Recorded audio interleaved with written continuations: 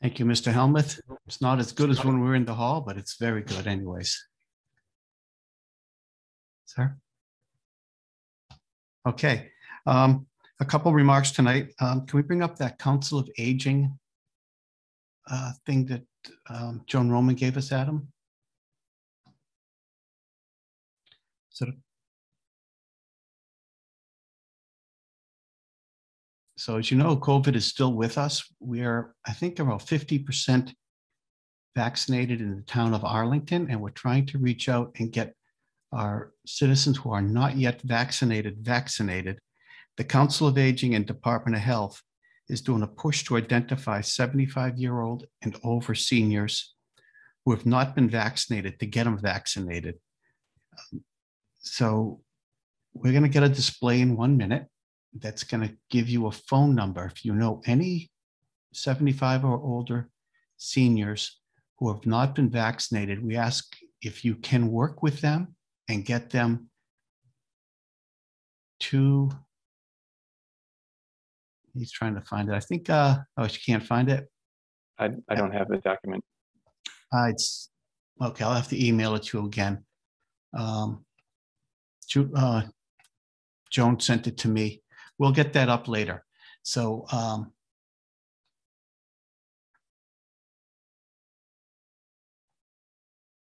I'm going to send it to Adam now.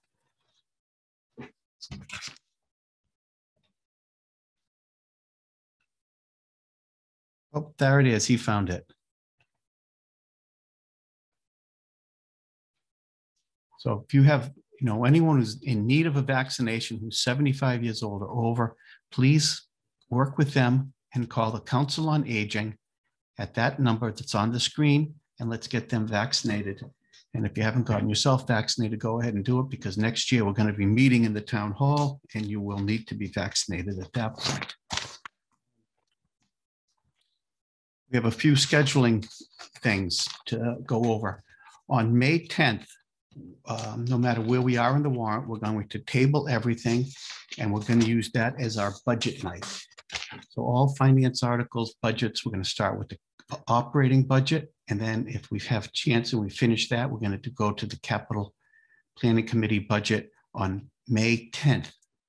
And on May 12th at 8 a.m., excuse me, 8 p.m., we're going to start off with Minuteman. So I've invited Dr. Ed Bouquillon to present the Minuteman budget and presentation on the 12th at 8 p.m.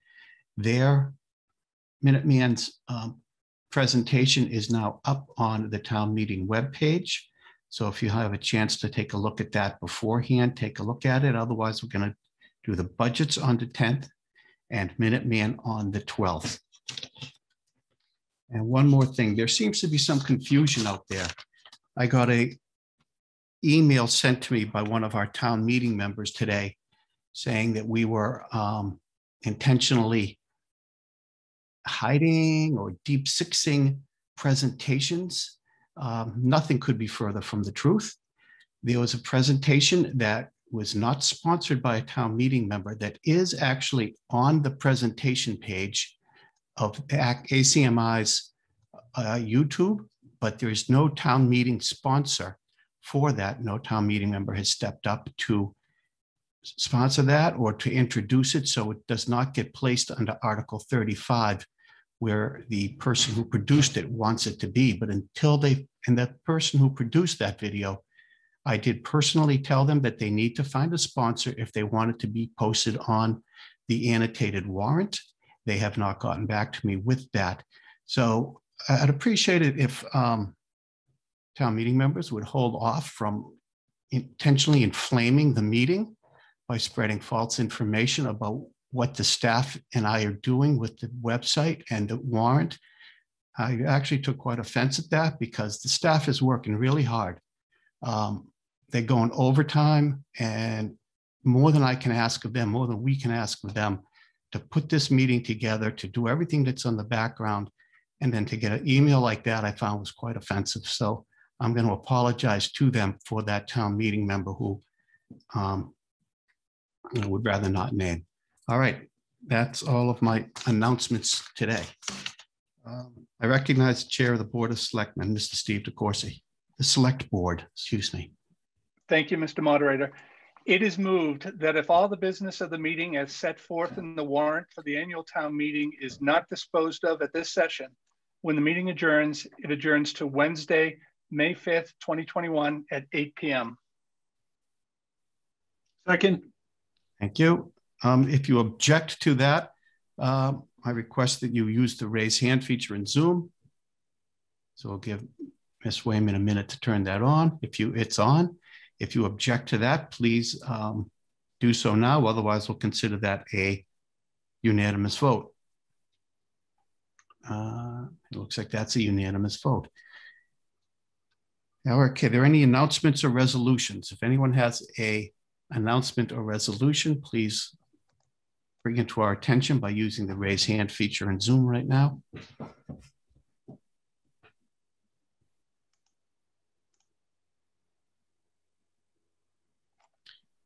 And while we're waiting on that, if any committee or board has a report that they wish to announce or wish to present at this point, please also get my attention using the same feature.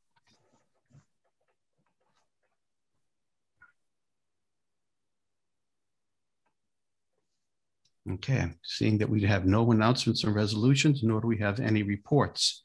So um, Article 20, Article 21 is now before us. So we're going to go right into Article 21. Um,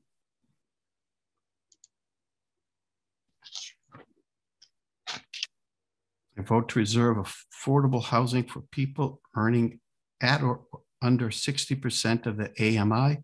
The recommended vote of the board is the select board is no action.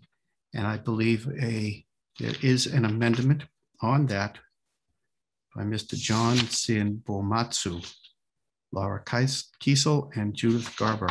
So um, it's Miss Garber here. Let's bring Miss Garber up, see if she wants to present her motion. Hello, uh, Judith Garber, precinct four. Um, I'm actually, um, uh, my, my co-sponsor Laura Kiesel would like to present this, and I believe she's on the call right now. Okay, and is Ms. Kiesel a um, town meeting member? No. Okay, so is she a town resident of the town of Arlington? Yes. Okay, so Ms. Kiesel has a right to speak, and she's um has six minutes and forty seconds left to go for it. Great. Can you hear me? Yes. Uh, can we get a second on that motion first? second, Okay, thank Okay. you. Great. Go ahead, Ms. Kiesel. Thank you. So last fall special town meeting, um, there was a warrant passed to establish an affordable housing trust fund, which is great. Um, the trust fund was amended to rely on the definition of the Community Preservation Act for low and moderate income households, with the latter being defined as households making up to 100% area median income or AMI. To put that in plain language, 100% AMI is nearly $84,000 for a single person household, $95,000 for two two person household and uh, $107,000 for a three person household. Uh, the reason why we are concerned about this is when you break um, it down by AMI by race in the Boston metro area, while that aligns with white and Asian households, that is more than double the AMI for Black and Latinx households in the Boston metro area, which is $47,000 and $42,000 respectively. Um, furthermore, a 2016 study by the Boston Redevelopment Authority found that more than half of city residents make under $35,000 a year, and that was before COVID. This was something that was actually brought up last summer during the race and housing panel that the town itself hosted when Leon Andrews of the National League of Cities, which has been consulting with the town on racial biases, when he was asked during the panel what was one thing white majority municipalities like Arlington could do to be more equitable in their housing policies, he said, quote, cities that are committed to centering racial equity require us to use a lens that redefines affordability. And he mentioned specifically earmarking affordable housing funds um, for lower area median incomes so that they would be more inclusive of Black and Latinx households. And he brought up an example of another municipality that had had similar um, racial disparities in their MI, AMI to uh, Arlington. Uh, furthermore, another thing was um, the National Low Income Housing Coalition has found that households making 100% area median income, there is actually no shortage of available homes on the private market um, without being cost burden. In fact, there's a surplus, but for lower income households, there is quite a shortage. For every 100 households making 50% AMI, there are only 57 units available. And for every 100 households making 30% AMI, there are only 36 units available. Um, furthermore, how affordable housing priced for households making 80 to 100% AMI are also exclusionary to people on Section 8 and other housing vouchers who are disproportionately more likely to be disabled and or people of color and especially young Black households with school aged children. I'm on a Section 8 voucher and a Section 8 was originally intended for use on private market and problem is private market has become so prohibitively expensive, especially in metro areas, that a lot of times people have to live in affordable housing to be able to utilize these vouchers. And if even affordable housing is priced too high, we have nowhere to go. And lower income households do not have the options that higher income households have. Um, uh, they, they can't really rent on the private market a lot of the times. And if not, they're forced into congregate settings like nursing homes, institutions, shelters, or the streets, which have been ground zero for mortality rates and infections. Um, I, I'm kind of stuck in my affordable housing. I live on the top floor with no elevator and I can't even move even though it's not a medically accessible apartment for me because there's a lack of any kind of unit under the payment standard on the private market and there's no affordable units in the area. And I'm relatively much more privileged than many other people in my situation and I'm struggling to quickly address why the select board voted no action. They encouraged us to trust the board of trustees to prioritize low income households. They said they agreed with the principle of this.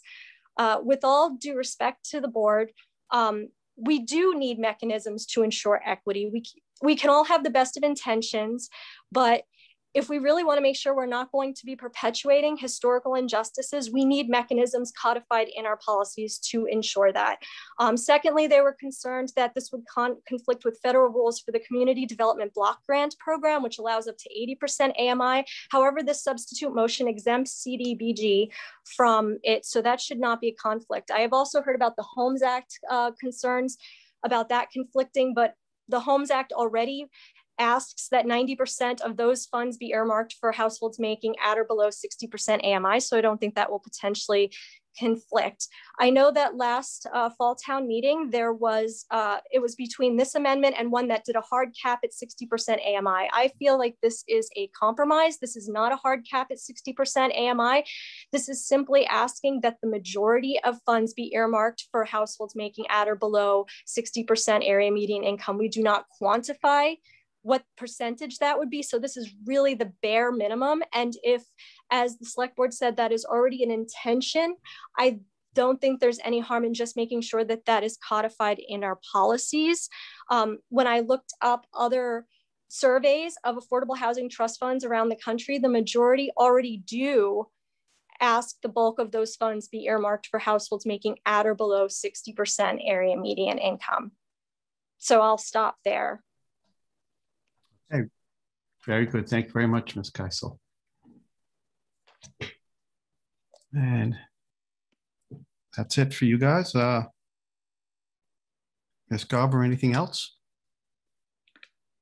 Yes, I just wanted to say um, in our research in doing this, um, we found a 2018 Arlington Housing Forum event that found that out of the 700 plus people on the, the wait list for affordable housing, the vast majority of those made $40,000 or less, which is much, much lower than 100% AMI, much lower than 80% AMI. So I think the, we all know that the need is um, for affordable housing is among um, very low income folks, and we have to target our efforts there. Thank you. Thank you, Ms. Thank you very much. Thank you, Ms. Um, Patricia Worden.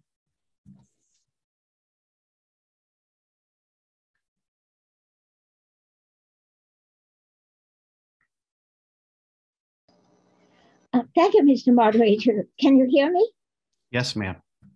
Patricia Worden, Precinct 8. Federal Town Meeting members, mm, first of all, I want you to know that I have been active in affordable housing endeavors for at least 30 years and was a member of the group which brought the inclusionary affordable housing zoning bylaw to Arlington.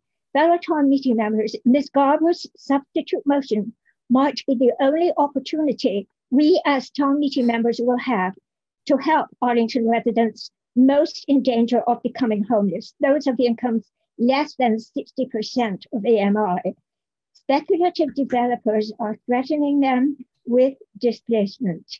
It was hoped that the Affordable Housing Trust Fund could help them avoid homelessness when their buildings become acquired for elimination and replacement by luxury and market rate units.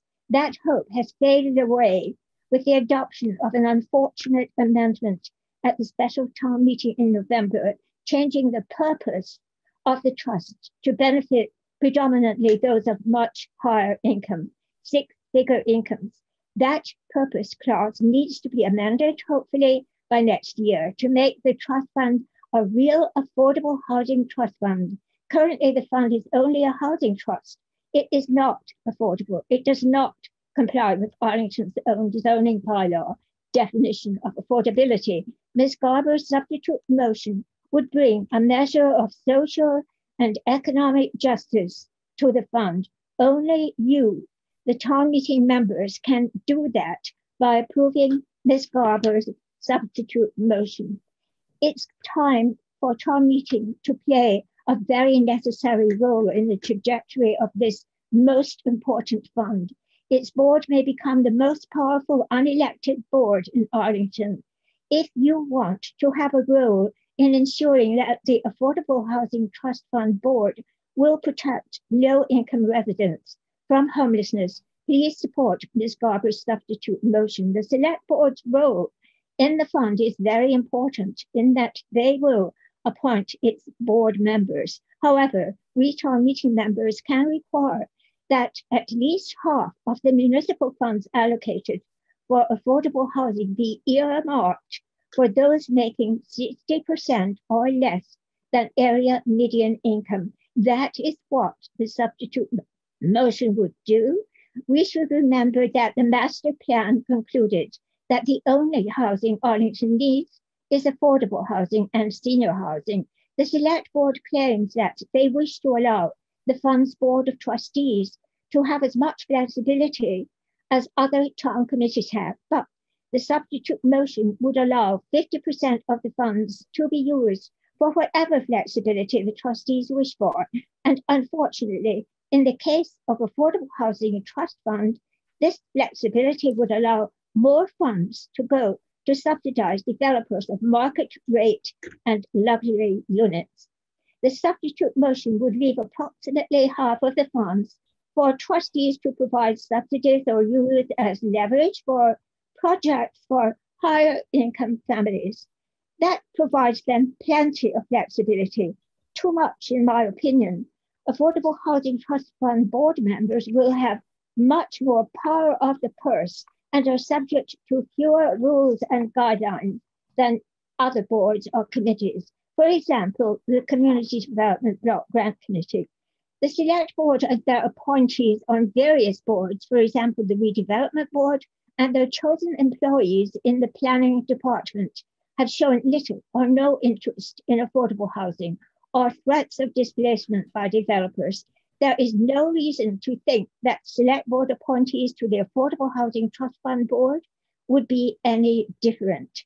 Some select board members have been generously supported by residential developers and realtors who may not wish for affordability requirements in their projects. Just a few days ago, a member of the redevelopment board was asked at a precinct meeting if the redevelopment board had made Miss any Miss Worden, to increase Miss affordable. Worden, please keep on scope of the article. Yes, thank you. Yes, um, In the last year, he said no, they had not made any progress in affordable housing, but they may have conversations after the pandemic is over about it. Well, fellow meeting members, we hear a lot of inspiring speeches from planning officials and politicians about the need for affordable housing. They talk the talk, plenty of conversations, but they do not walk the walk. This article is an opportunity for the Select Board and the Redevelopment Board to begin to walk that walk. but they have so far declined to do so. Profits for residential developers appear to be of much more importance than the well-being of residents. We town members cannot just wash our hands of what happens to our lower income residents when homelessness increases if we have given away the help they could have received from the Affordable Housing Trust Fund. Thank you. Thank you, Mrs. Worden. Karen Kelleher? No. Yes.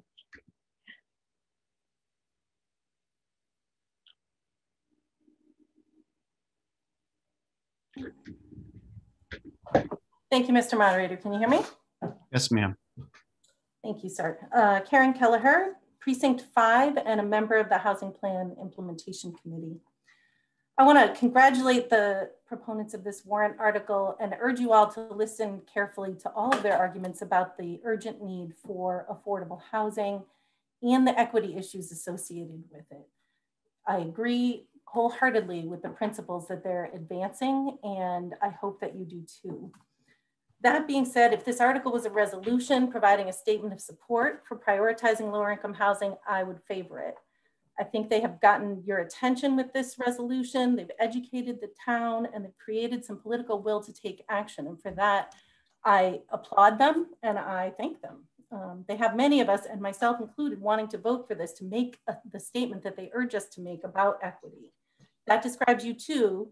I only hope you're moved enough to stay engaged in this conversation for the long haul, because moving from that statement to a strategy that will actually create affordable housing units will require a lot more work and some difficult choices.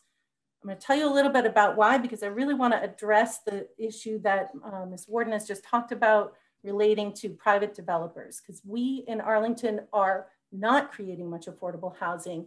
It's because we don't have a proactive strategy. The Affordable Housing Trust Fund has the potential to provide one, but we're going to need to fund it. And second, we are taking lots of actions that are actually taking another option for creating affordable housing off the table, and that is to get private developers to build it for free. And it's part of why I want to talk a little bit further about this article. I have to step back though, because I, I am the person who proposed the amendment last year that created more flexibility in the trust to be able to fund housing units at higher incomes. And I'm gonna tell you why uh, shortly, but there is no one here who is advocating for higher income housing as an alternative to or in lieu of uh, very low income housing.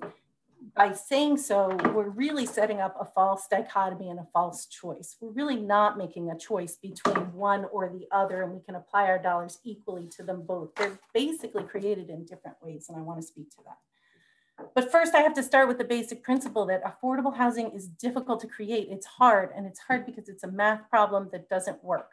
The rents and home prices that lower income people can pay are just not enough to pay for the construction and operation of the housing that they need to live in. That's a structural inequity that we aren't going to solve in town meeting, but we do need to solve that problem if we want to take action. This statement, this act, this uh, particular warrant article isn't going to get us one unit closer to actually doing that. There's two ways to solve that financial feasibility problem. The first is to seek and to provide public subsidies. We're I hope we will do that ultimately through the trust. It's what the uh, Housing Corporation of Arlington uses to create uh, affordable housing in town. And Arlington can and should do more of that. And to do that, we're going to have to create conditions that make affordable housing developers want to build in Arlington. We haven't done that and we need to do that. But there's a second way to create protected affordable housing. And that is to get private developers to cross subsidize it with excess profits from market rate units.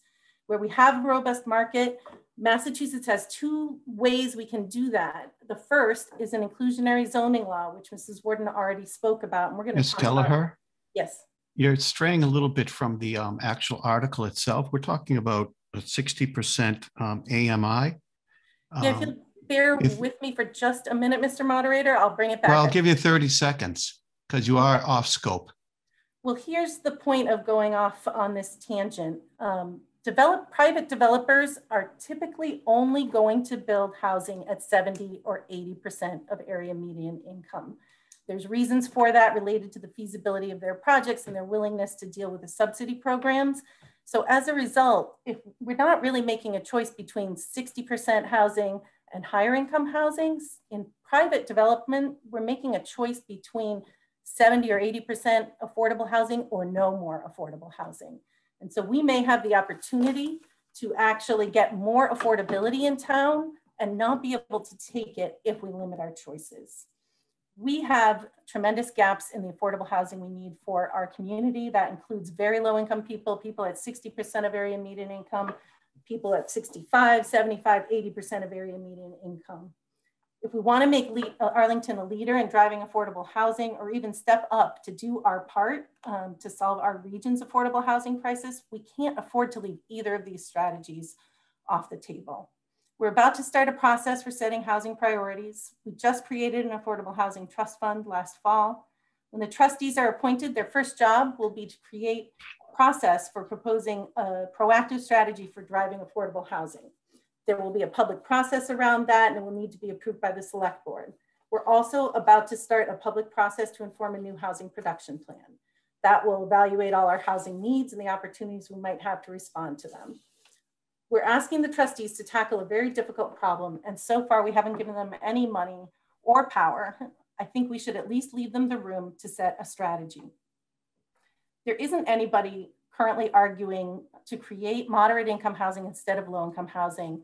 And the standard proposed for the trust is actually the exact same standard that applies to the Community Preservation Act committee. That committee has never funded a unit that actually is targeted ahead Miss, of Miss, 60%. Kelleher, the, the members are yelling scope. I'm talking about income levels. Uh, I'm talking about the 60% area median income level. Do you feel it's out of scope? Go ahead. But Thank you. yeah, 45 seconds. There are also some unintended technical issues this uh, law could create. We just created a trust fund. I think we should not take options off the table before the trustees are even appointed. Many of us are saying we support affordable housing, just not in this location, not if it'll increase traffic or density, or if it's for people who aren't low income enough, or if it places a tax burden on us. There's a thin line between affordable housing support and NIMBYism when we make our other priorities absolutes. We narrow the options and take tools out of the toolbox. It's hard to create affordable housing. We're not gonna create it if we don't make compromises and hard choices. I hope we can stop arguing about what we don't want and narrowing our options and instead roll up our sleeves together and develop an informed, proactive strategy that we're prepared to support. If you still feel you want to support this article as a statement of your support for deeply affordable housing, I'm nonetheless thrilled you feel that way. And I hope it means you will also be willing to keep showing up for the conversation and also make the hard financial and land decisions, use decisions that will turn this statement into a strategy. Thank you. Thank you, Mrs. Kelleher. Uh, Daniel Dunn?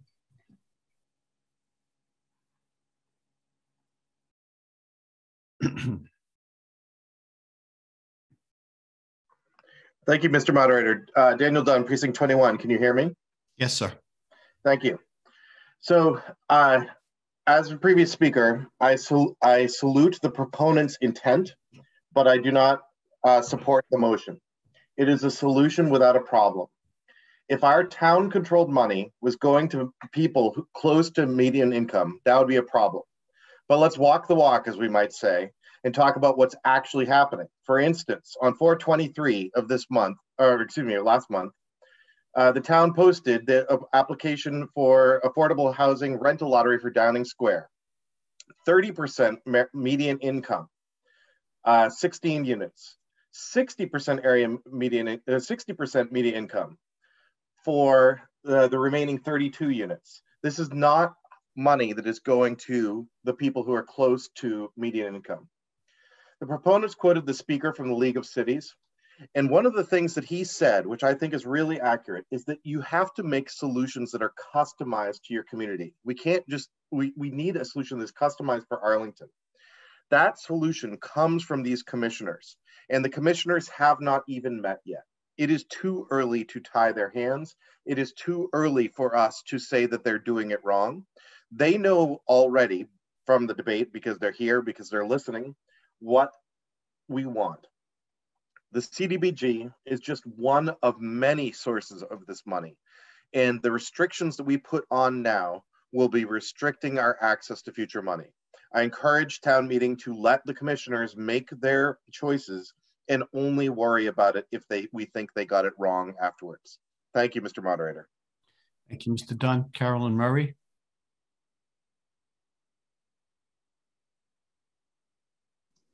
Hi, Caroline.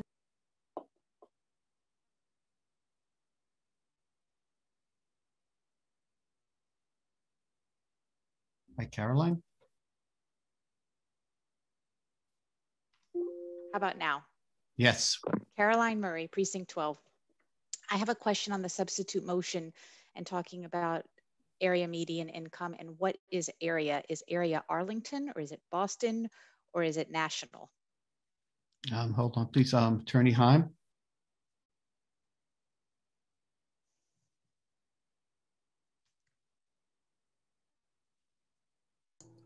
Mr. Moderator, I, I would actually prefer to defer that question uh, to either the planning director or the um, or, or uh, Ms. Kelleher, who. Uh, yeah, who let's set let's um, ask let's ask Miss Raitt. Is is Miss Raitt with us? Yes, I am, Mr. Moderator. Hi. Can you Hi. tell us what the area is? Certainly, it's Jenny Raitt, the Director of Planning and Community Development. We're talking about the greater Boston area, which is under the Boston, Cambridge, Newton, MA to Nah- New Hampshire St- Statistical Metropolitan Area, or SMSA. So it is a very broad area that draws the area median income. Thank you.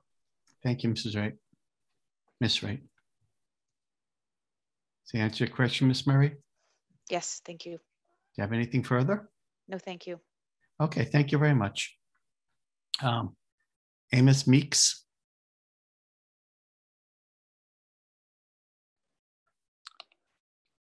Thank you, Mr. Moderator. Uh, Amos Meeks, Precinct 3. Um, so I want to say up front that um, in terms of housing and, and zoning and these sorts of topics, I'm sort of still learning on, on this. And um, I have a lot of respect for, for Ms. Kelleher's expertise. Um, I read the document that she sent out um, before this, and I thought there's a lot of great info in there. Um, so from my perspective, from what I've learned, I feel like there are sort of two very broad types of affordable housing. There's sort of deeply affordable housing, you know, this um, 60% AMI and below. And then there's, you know, other definitions of affordable housing, um, like the 80% threshold that I think is used for, um, you know, things like 40B and, and that sort of thing. Um, and my understanding is that um, for really the deeply affordable housing, you really need public funding uh, to make it happen and significant public funding. And um, according to what Ms. Kelleher wrote, this exists at the federal and the state level, I think. Um, and so I see this Affordable Housing Trust Fund as kind of adding onto that and creating a source at the local level of the town and being a source of public funding um, that's sort of Arlington specific. And so it makes sense to me that the to have this housing trust fund focus on um, this sort of deeply affordable housing that that really requires this this additional public funding, and to um, for for the not so deeply affordable housing, um, have policies and um, other ways of sort of incentivizing the um, the market to create some of that um, through you know zoning, um, inclusionary zoning, uh, these sorts of things. Um, and I believe in, in what Ms. Kelleher wrote, the federal and state funding are already in, in at least many cases um, restricted to going to 60% AMI or less. Um, so it seems in line with that to uh, require that for um, the Housing Trust Fund. Although um, I think it is an important point that the amendment, I believe, only requires a majority to go towards 60% AMI. Um, so there is still flexibility for um, 70%, 80%, you know, if that's needed in order to access additional funding from other sources or things like that. Um, and there was a technical concern that that Ms. Kelleher raised um, about where you know this requirement means that one project falling through could jeopardize funding for another project um, that's sort of unrelated but sort of scheduled at the same time in order to meet the proposed requirement. Um, hopefully that wouldn't be an issue as long as they are sort of not towing super close to this majority line. Um, although um, I think this is still a, a very valid concern. Um, so overall, I'm generally supportive of this because it, it seems like uh, the right sort of focus and seems like a good thing to sort of uh, direct and ensure rather than um, you know waiting to see if there's a problem and then needing to address it later on or, or things like that. Um, so thank you very much, Mr. Moderator. Thank you, sir. Um, Stephen DeCourcey. Thank you, Mr. Moderator. Uh, Stephen DeCourcey, Chair of the Select Board. Just want to make a few comments on, on our vote and, and to follow up on some statements that were made uh, earlier uh, in the evening and, and to echo Mr. Dunn's statement. We the select board did certainly salutes the, the proponent's intent here. Our concern, speaking for myself, was that one, we have not created the trust. The trustees have not um, been selected yet. We're, we're going to put out a statement for expressions of interest within the next few weeks. And the bylaw itself sets a ceiling on what can happen, not what will actually happen. 100% of the funds could be used for below 60% or below 50%. Um, other communities in Massachusetts that have municipal uh, trust funds, I believe there's about 115 communities. I'm not aware of a community that has the restriction within the bylaw. Somerville has a restriction on income that the trustees put in the de declaration of trust. And they had three different categories um, that for 20% will serve households between zero and 50%. 20% will serve households with income between 51 and 80%, 10% between 81 and 110%.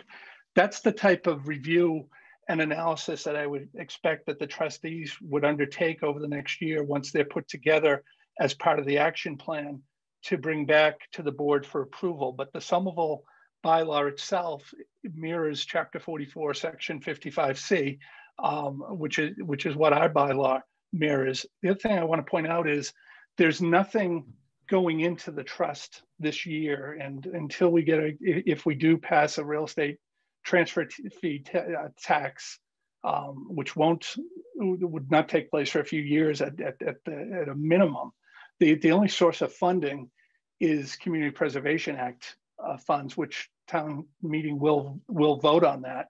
So at least for this year, there's nothing that's going to be put in the trust fund. There's no actions that are going to be taken. The board felt that if we allowed the trustees to develop an action plan to come back to us, identify priorities in the short term, we didn't want to limit their ability to do that over the next year. Um, and there was a statement about CDBG funds earlier, and, and CDBG funds, the select board determines how that money is spent. I've been on the board for two years all of the funds for CDBG that have gone to housing, 100% have gone for households that earn less than 50%. And, and this year, there was a number of funds that went to households that earn less than 30%. So um, I just wanted to, to really repeat one last time in, in terms of the bylaw itself, we don't want to have to change every year if circumstances change going forward. We want to have a construct that we can follow from year to year through the trustees. And we certainly um, can set priorities that um, in, the, in the short term and even in the long term through the trustees' actions that support affordable housing for 60% or below AMI. Thank you, Mr. Moderator. Thank you, Mr. DeCourcey. Um, Gordon Jameson.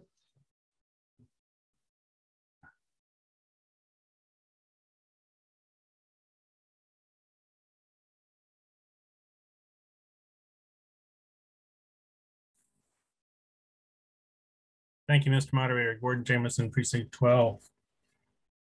Um, I concur with Ms. Keller, Mr. Dunst, and Mr. Coursey's um, comments. Um, and um, perhaps uh, the Director of Planning could tell us, since we modified the um, article last fall to be uh, consistent with CPA criteria, Community Preservation criteria, what actually are the criteria uh, that we restrict the fund at this point as approved by town meeting last fall? Uh, Ms. Ray, can we get an answer to that? Jenny Raitt, Director of Planning and Community Development. The limit is 100% of the area median income, uh, which is which was referenced earlier by a previous speaker. That is the same as the Community Preservation Act, which is called uh, community housing and units that are targeted to 80% or below the area median income. Those units can count on the subsidized housing inventory that the town maintains. Anything between 80 to 100% cannot, um, but to answer the question, it's 100% area median income. Thank Okay, you, Ms. Wright. thank you, Ms. Wright. Um, The um, question I had was, oh dear, which one of these many? Well, in the um, proposed amendment, as I, my reading was, oh dear, where is it? Um, Okay.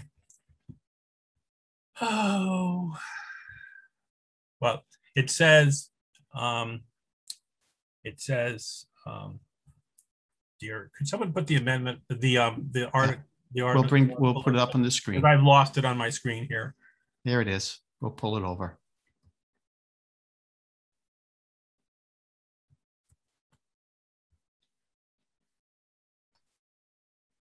There you go, Mr. Go- And Jameson. my question, my question, um, for, for, on the wording is the impl- implications of, um, it says a majority of all funds, um, expended by the trust fund, um, shall be sixty or, or greater. Um, is that of the gross funds, even though we exempt the monies from the CBDG? Perhaps It- Mr. Heim can clarify that. Yeah, it looks unclear. That's why I'm asking the question, Mr. Moderator. Thank you for that.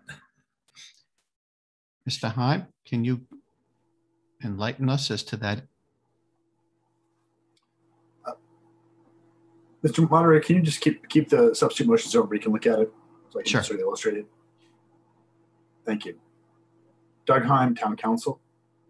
Um, The way that I would read uh, the substitute motion, because the uh, language exempts CDBG funds, I would say it's the majority of basically non-CDBG funds. I think that's consistent with what the proponents are, are setting forth. Thank you much, very much, Mr. Heim. Um, So um, I think, I think this, this well-intentioned amendment um, and my question about it just then points to the, the, the troubles with trying to prescribe too much within a bylaw um, what you want to actually happen. And that the um, Affordable Housing Trust Fund members are tasked with making a, um, a plan, I believe, and that those regulations are much better. The regulations are much better as regulations and not within the bylaw. For example, um, uh, this is how we work recycling um, uh, regulations. The those are promulgated by the DPW.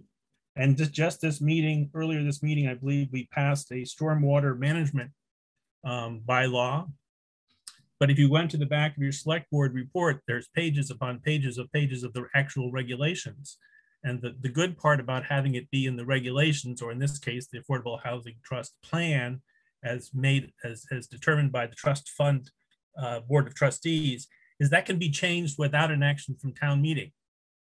And so that's much cleaner. We don't, any, anytime there's a mistake, as you noticed in our, in our zoning bylaws or an in- inadvertent error, or we change from select board to, uh, from board of selectmen to select board, we have to go back and change that in the bylaws. It's very, it's very laborious and inefficient. And so I would, um, for, not only for the reasons expressed by others earlier, but for these, um, reasons that, that I've just stated, I, I, I would urge a vote against this article. Um, I that the Affordable Housing Board of Trustees will, will, um, take these thoughts to task and um, to, to, to- and when- as they go to the task of um, uh, take, take these comments as, uh, in consideration when they go to the task of formulating the, the plan. And I'm sure these members um, and, and they're supporting um, uh, other members that support this will show up at those meetings and lobby for these types of um, stepped increases in different parts of the um, util- utilization of the funds. And so, thank you very much, Mr. Moderator. Thank you, Mr. Jameson. Ms. Rowe has a point of order. Clarissa Rowe.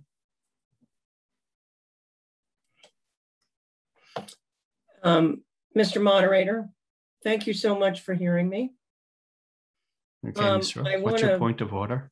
My point of order as the acting chair of the Community Preservation Act Committee, I want to just say that um, Ms. Raitt is correct about the way the law is written.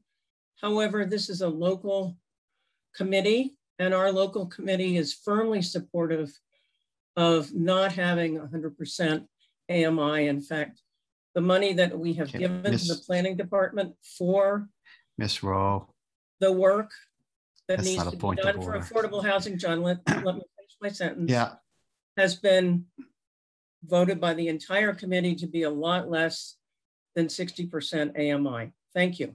thank you, Ms. Rowe. I appreciate your statement and, um, but that would have been more of an argument as opposed to a point of order.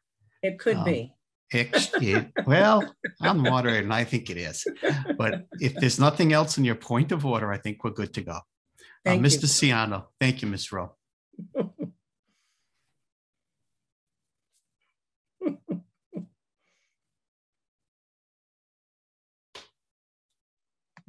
Okay, I did it. Uh, Frank Ciano, precinct 15. So have trustees been appointed as yet or no? I believe Mr. DeCourcey told us they have not been appointed yet. Okay, so that does not please me. Uh, so then how would this be funded? We have the CPA, the override, the transfer, the school committee wants more money, town meeting members want to Well, be paid. Mr. So Ciano, I, I guess I'm off we're scope. talking- Okay, I'll yeah, I'll be yeah. quiet. So We're how talking about how be- we're going to spend it, not how we're getting money into it. Yes, um, so I'm in favor of this. So I, I don't get why the select board wants to wait. My mom always said, why put off today? Why put off tomorrow what you can do today? So why can't we just support this? Well, that's what they're asking us to do. That's what we're arguing So then. I'm in favor of it then. Thank you. Okay, thank you, sir. Um, Anna Henkin,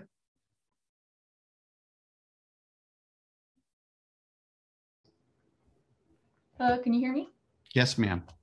All right, Anna Hankin, Precinct Six. Um, I would like to speak in support of this article um, and the amendment. Um, I definitely want to really reiterate the fact that this is only asking for a majority. So if we really need to support something up to 80 or even 100% AMI, there's still 49 cents out of every dollar from this trust fund that goes to those projects.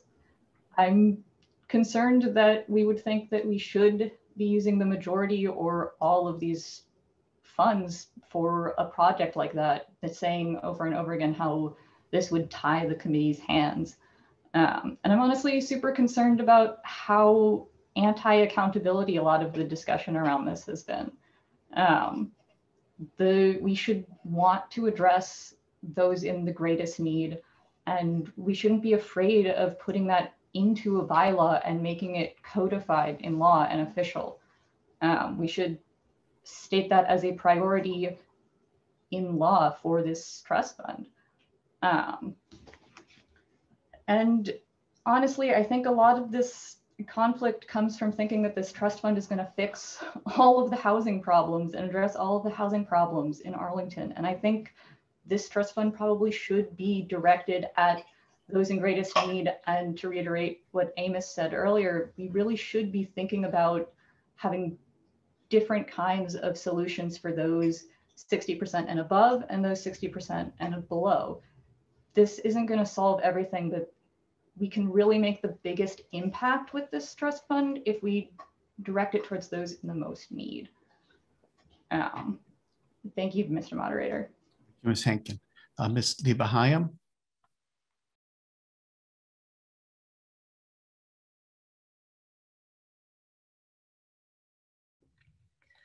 Liba Hyam, Precinct 11.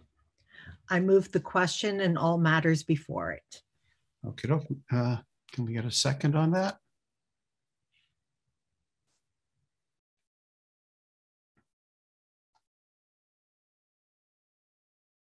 Do we have a second on motion to terminate debate? It has been seconded.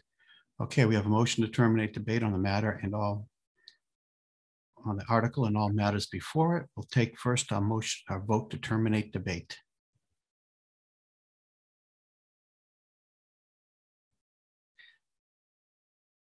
So we had a few database errors last uh, Wednesday. We've spoken with um, Mr. Pato, the developer, and he made a few recommendations to us. One is that we're going to, Adam will start the voting table. Don't everybody rush over to participate right away because that causes a database error, just like we're getting here. So if the precincts will go over serially in groups of seven, one through seven would go first, approximately 10 seconds later. Um, eight through 14, another five seconds later, 10 seconds later, the um, 15 through 21. We've increased the voting time clock to 90 seconds. So you'll see up there, you still have time. And if you do get a database error, just refresh your page and you'll get to the voting portal.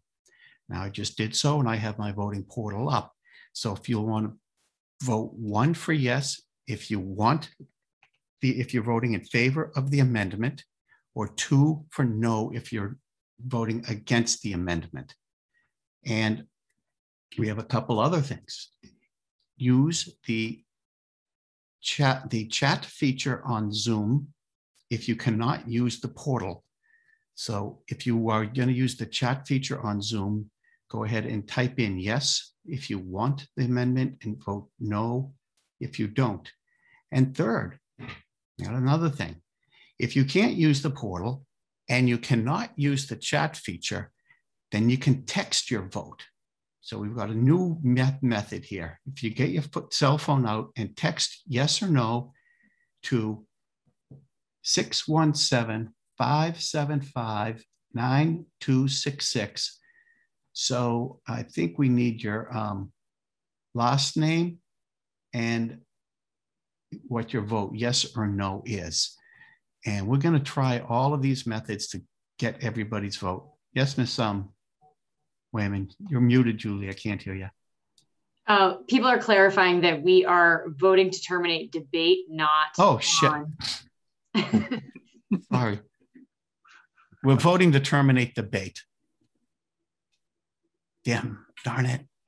All right, so if you want to terminate debate, I went through all that stuff about the amendment. Oh man, I'm sorry, everyone.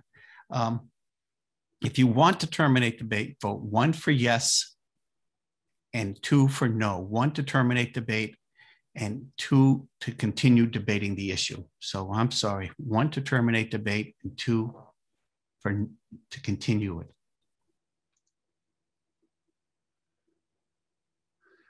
So let's have everybody go back and make sure they voted the right thing on the terminate debate.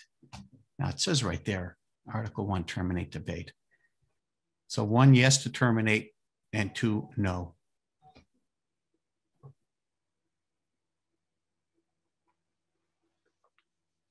So we're going to leave it open for one second to make sure everybody gets their vote to terminate debate.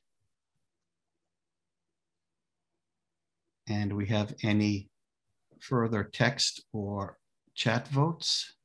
Nope, I think we're all set. All right, let's close voting. We'll see if debate has been terminated.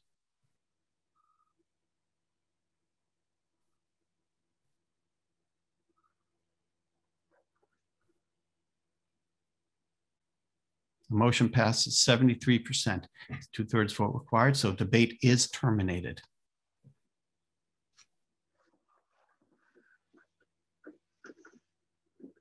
174 in favor and 62 in opposition. So we've terminated debate. We're going to run through the several screens. Then we'll take the vote on the amendment.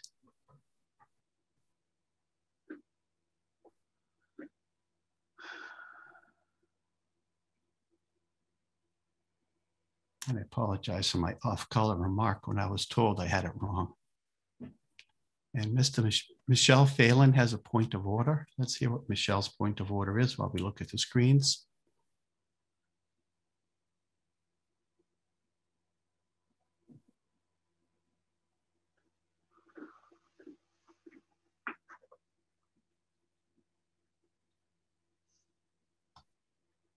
Oh, she put her hand down. Maybe she doesn't have anymore. Ms. Phelan, do you have a point of order?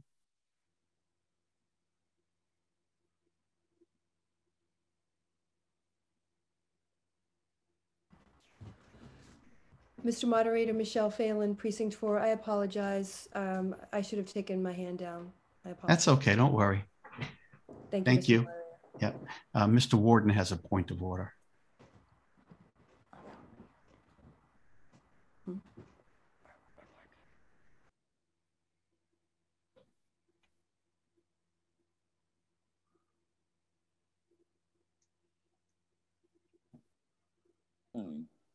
Oh, Mr. Moderator, yes, uh, John Worden, Precinct 8. Um, my question relates to uh, voting. If um, if the machine does what it did last uh, time we were here together, um, and you can't get to the portal, uh, there was a phone number to call. Now, yes, but uh, is there a phone number to call? Suppose uh, some people, including me, do not have the capacity to text. Mm-hmm. So um, earlier in the evening, um, I chatted and questioned and answered to Patricia um, two different phone numbers, um, which, and I'll give you uh, Miss Brazil's phone number again. It's seven. It's 781 316 3071. So we, you should be able to call that number, Mr. Worden, and she'll be able to get that But suppose Call. it, suppose it rings busy as it did several times last last meeting. Well, we think we have that solved with the other issues. Um, if you'll give me a phone, your phone number, I can call you and give you a private number that you'll be able to call. Well, I hope it won't be necessary, but um, my, my phone number is 781 646 8303. 8303. All right. If you'll allow me to call you during the break, I'll call you and give you a private phone number that you can make a call to if necessary. Thank you, Mr. Moderator. I hope it will not be necessary, and I, I hope that you, you will keep voting open until everyone who wants to vote is allowed to vote. That's what we're trying to do. Thank you, sir. Thank you, sir. Okay, so we're now going to go to the amendment and take a vote on the amendment now that debate's been terminated. Okay.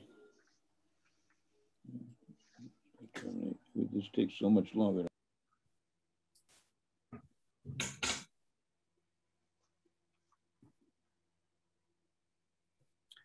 Okay, so we are now going to open, enable voting on the amendment. If you're, in so precincts one through seven, please go to the portal.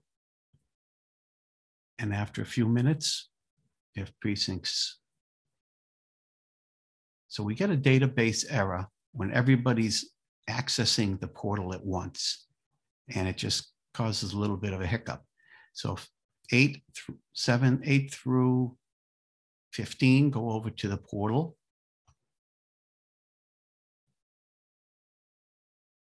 And then the rest. Now, if you're in favor of the amendment and you want to amend it and have that amendment become the main motion, vote one for yes. If you're opposed to the amendment and don't want it, vote two for no. If you can't use the portal, please chat your vote. Um, all you have to do is type in yes or no. And if you can't use the portal or the chat, then you can text your vote to 614 575 9266.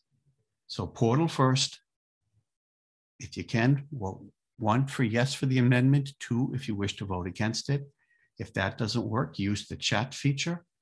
And if that doesn't work, text 617 575 9266. And if all else fails, you can still call Miss Brazil at 781 316 3071. But that's only one person on one line, and you might get a busy signal. So you have to be persistent.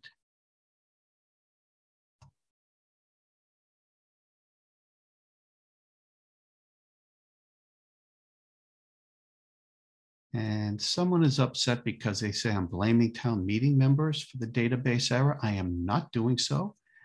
I'm saying that it's a system issue that we have a lot of users and we're using a lot of bandwidth at once and we, have a huge draw on the system. So we're trying to stretch out the uh, instant issues. So do we have any other chat votes or any other votes that are not using the portal? Are we all set? We're all set with the text votes. And I'm just waiting for to get the thumbs up on the chat votes.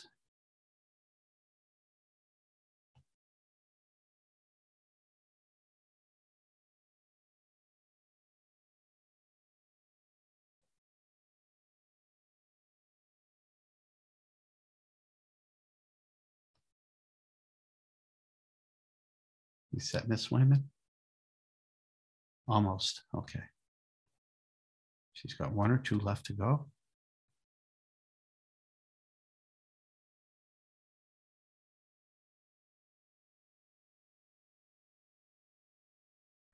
I don't even, oh. Well, Lauren has her screen turned off, so I can't see if she's giving me a thumbs up or not. Oh, there we go. Thanks, Lauren. Okay, so I think we can close voting.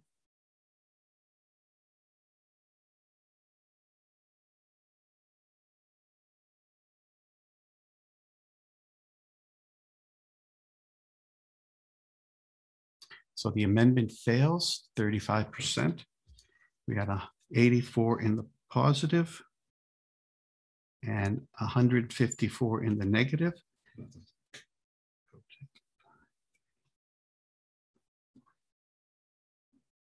To 154. The amendment fails and it's a vote and I declare it. Now we'll go back to the recommended vote of no action once we've run through the screens.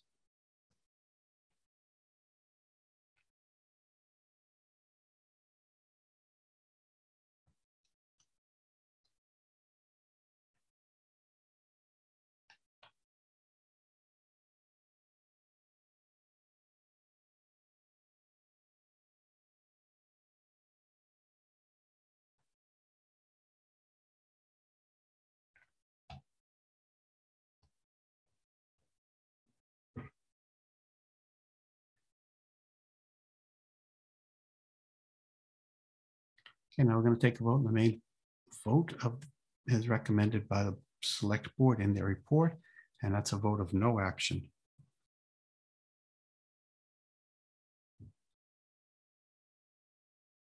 So town meeting members, please migrate over to, we're going to confirm, we're going to open voting.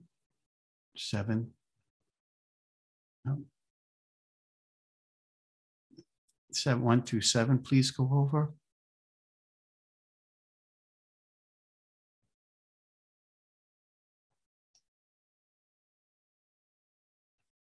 Uh, Ms. Bloom has a point of order. We're voting on the recommended vote of the Board of Selectmen of no action. So yes for no action, no for no, no action. Um, let's hear Ms. Bloom's point of order. Uh, eight through 15 can go over. And then 16 through 21. Nancy Bloom, Precinct 18. Yes, ma'am. What's your point of order? I was just wondering, since it is a, since the select board has it as a vote of no action, do we have to vote on this? Yes, we have to dispose of every single article. Okay, thank you. Thank you. Mr. Roderick Holland has a point of order.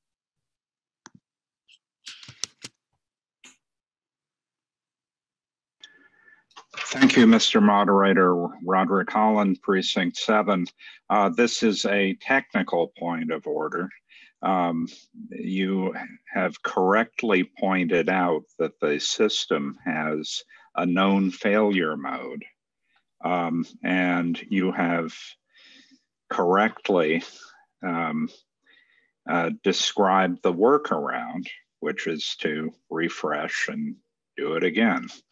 Um, we're very fortunate that A, we understand the failure modes, and B, we understand the workarounds. That makes for a system that is not beautiful, but it is functional. Thank you, Mr. Moderator. Thank you, sir. Yes, uh, we have to vote on every single uh, article, even if it's a no action. So we vote one yes for no action, unless you feel compelled to vote against it. But either way, the action will fail. So if it's no action, you basically may as well vote for it. Um, okay, so we have Okay, a whole bunch of people have points of order. If they're having, having to do with the vote, uh, I haven't explained it well. Mr. Harrelson, what's your point of order? Nancy Bloom has a point of order. Okay, we're just down to Nancy Bloom. Hello, Mr. Moderator. I, Brooks Harrelson, Precinct 16, I withdrew my point of order. Okay, thank you. Yeah, just as I called your name. Sorry, sir. Let's have Ms. Bloom's point of order. Uh, Nancy Bloom, Precinct 18. I'm sorry, I thought I'd withdrawn my point of order. I apologize. Okay, thank you. Thank you. Okay, so if anyone has a, um, Ashley or Lauren, if you can give me the thumbs up, I'm- I think I've got it from Adam for the text votes. We're good to go. Okay, let's close voting. Oh. Julie's asking for one more second. We're entering one more vote.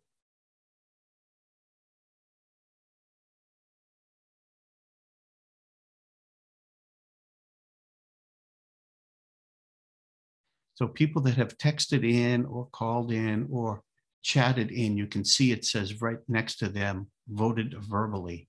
Those are the ones that we enter into the system manually. So we're getting all clear. We've manually entered all the votes that needed to be entered. So we're going to close voting.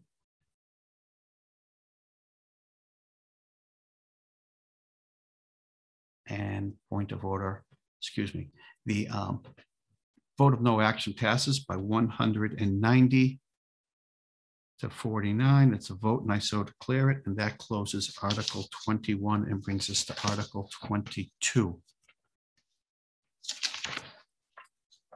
We have the recommended vote of the select board of no action. But we do have a substitute motion by Ms. Henkin.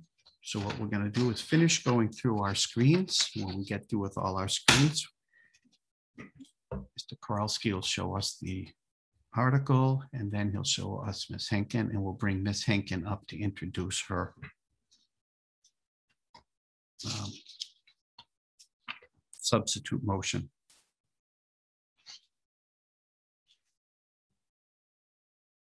This is a voter provision of town email addresses for town meeting members. The recommended vote of the Board of Selectmen was no action.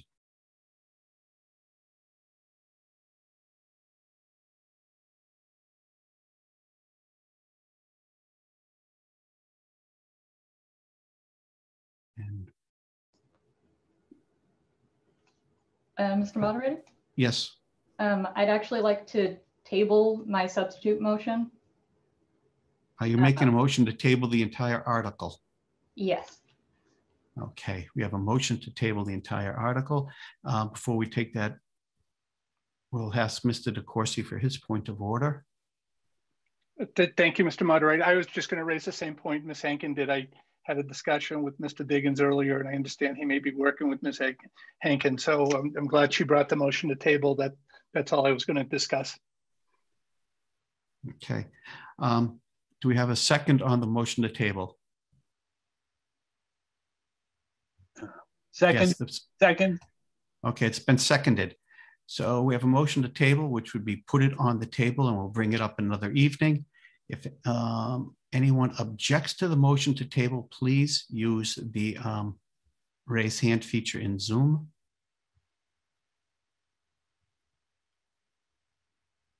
So if you're objecting to the motion to table, please go ahead and use the raise hand feature in Zoom as soon as it's ready to go. And I think it's turned on. It is turned on.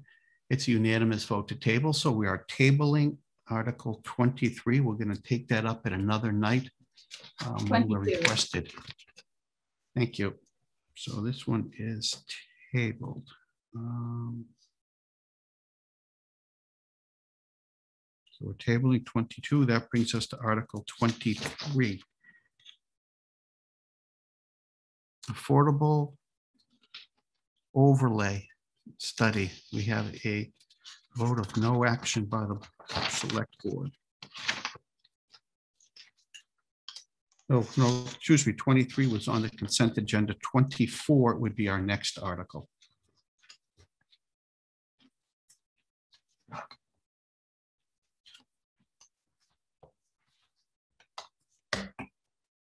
Article 24, home rule legislation, ranked choice voting.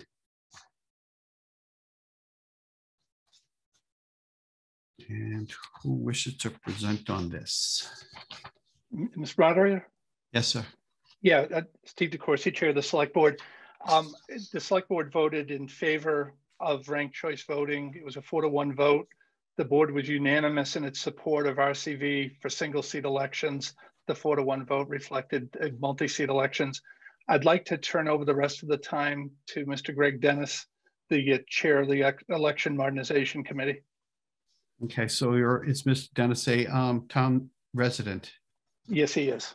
Okay, so he has a right to speak, so he'll be using the remainder of the seven minutes.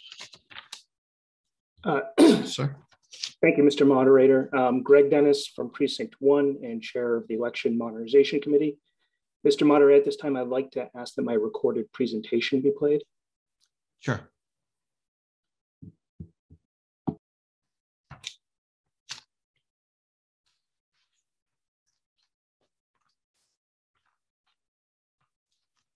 I'm Greg Dennis from Precinct 1, presenting Article 24 on behalf of the Election Modernization Committee. The recommended vote of the Select Board proposes home rule legislation to adopt ranked choice voting for elections to townwide offices. To understand the benefits of ranked choice voting, let's look at a key problem in the voting system we use today. That's the problem of vote splitting. Let's say we're holding an election for favorite candy, and two candidates enter the race Reese's Peanut Butter Cups and Candy Corn. Early polling shows about 60% prefer Reese's to candy corn. So it looks like peanut butter cups will win handily. That is until, uh oh, a third candidate decides to enter the race Reese's Minis. This is bad news for Reese's fans. Now their votes are split. And on election day, candy corn wins with less than a majority, less than 50% of the vote. Vote splitting has a number of negative consequences for our elections. First, as we saw in the example, it means that those we elect may lack majority support. Now, while non majority outcomes don't happen in every election, the threat of vote splitting is ever present, and that threat causes prospective candidates to bow out of the race before it has even begun. Fewer candidates means a less diverse candidate pool, it means fewer campaigns drawing voters to the polls, in some it means campaigns are less welcoming, less inclusive, and less engaging than they could be. These are some of the problems that ranked choice voting can help fix. So how does it work? Well, here are some of the ballots that we see in town elections today. Depending on the number of seats we are filling, we may be asked to vote for up to one, or up to two, or up to three, and Article 24 would replace them all with this ranked ballot, where voters can choose just one, or if they want, mark a second choice in the second column, third choice in the third column, as many or as few choices as they like. And it doesn't matter how many seats we are filling, one, two, or three, the ballot and instructions stay the same. To see how the votes are counted, let's look at a select board race between the four candidates on this ballot Mary, Diego, Sally, and Robbie. We start by counting just the first choices, just the marks in this first column. Mary has 36 first choices, Diego 24, Sally 12, and Robbie 28. Mary is in the lead, but with ranked choice, you can't win with only 36% of the vote. Instead, the last place candidate, here that's Sally, is dropped. And everyone that voted for Sally has their vote instantly count towards their next choice instead. Then we continue to drop the last place candidate and transfer their votes until only two candidates remain. When only two are left, the candidate with more than 50% of the vote, a majority, wins the seat. Congratulations, Mary. But what if we're filling two seats on the select board? Well, then Mary wins the first of those two seats. And then we count the ballots over again from the beginning, but with Mary excluded, to fill the second seat. Again, we drop the lowest vote getter until two candidates are left, at which point the candidate with the majority of the votes wins the second seat. I'm happy to answer any questions about how the votes are counted, but it's important to keep in mind that regardless of the mechanics of the count, the task of the voter remains simple, which is to fill out this ballot, and we know from experience around the country and around the world that voters can handle this. And in exchange for using the ranked ballot and counting the votes in this way, town elections would see a number of benefits. One, we'll ensure that the candidates we elect always have majority support. Two, by ending vote splitting, we'll encourage a larger and more diverse set of candidates to run. There's evidence that this benefits women and people of color in particular. Three, we'll help boost voter turnout because more candidates means more people pulling their friends and neighbors out to vote. Four, will limit gamesmanship because lobbying your supporters to bullet vote for you becomes an ineffective strategy under ranked choice. And five, candidates will have an extra incentive to stay positive and civil to pick up the second and third choices from supporters of their opponents. What's the impact of a yes vote? Well, if town meeting votes yes, and if the state approves the home rule legislation this year, then Arlington voters will decide whether to adopt ranked choice voting on the April 22 town ballot. And if Arlington voters say yes, our first election with ranked choice would be in April 2023. Importantly, that means one, even if we vote yes, we'd still have nearly two years for more public education before ranked choice voting is ever used. And two, a yes vote is ultimately a vote to let Arlington voters have a say. In November, 64% of Arlingtonians said yes to adopting ranked choice voting at the state and federal level. Please vote yes in this motion so that they can decide whether they want it for local elections too. Thank you. Thank you for playing that. Um, in addition to the recorded video, there's a fact sheet and a select board example in your materials uh, with answers to common questions. And I'd like to add that uh, in addition to a yes vote on the article, the committee is also urging a no vote on Mr. Schlichtman's proposed amendment, which would limit ranked choice voting to single seat elections only. That amendment would deny key benefits to some of our highest profile races where vote splitting is a serious concern. It would also give voters an inconsistent and unpredictable experience. For example, it would mean that in some years the select board race would use ranked choice voting, and in other years it would not. Our proposal for multi-seat elections is straightforward. It just repeats the single seat method, the same single seat process to fill each of the available seats one at a time. It's based on the same rationale and offers the same benefits to multi-seat elections as it does to single ones. So please vote no on that amendment and then yes on the main motion.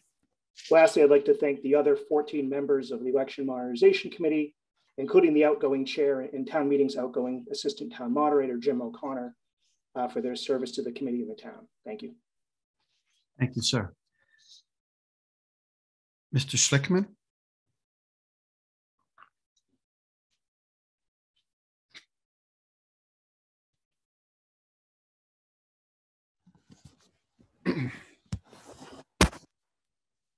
Mr. Moderator, it's, uh, it's 9:30. Do we want to do this after the break? Sure, that's a good idea. Let's take our 10-minute break, then Mr. Schlichtman will be the first one up. And I do have a uh, PowerPoint that I want to narrate it with, so uh, if. We'll have that queued up, ready to go. So we're going to take our 10-minute break, and we'll see you all in 10, 12 minutes. And we're going to play a piece that was produced by a Arlington High School student, Daniel. I didn't get his last name. Um, that he won an award through the um, Community Access Cable Television Station um, Association for this piece. And I think it was a nationwide award given to one of our high school students through the ACMI. And so he's we're going to get to see that during the break. So thank you. We'll see you soon.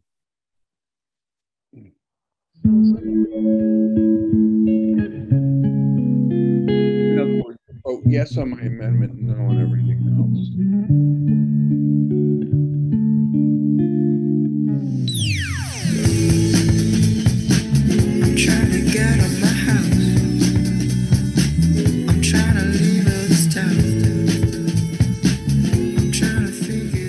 We are so happy to give you a glimpse into the hearts and minds of our Arlington student artists. We will continue to ask them, through their art, to tell us what they are thinking and feeling about their lives and about the world around them.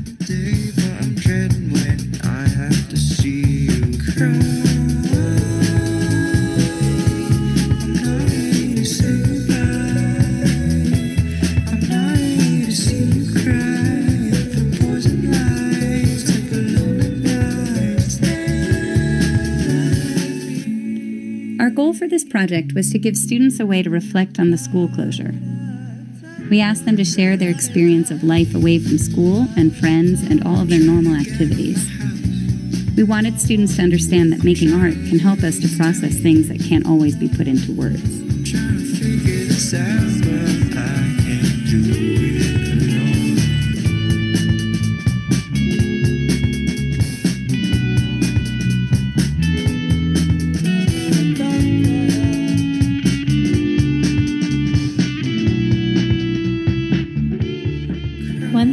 Think is really amazing about all of this social distancing artwork is that we now have this wonderful record of what life was like at this time from many different perspectives.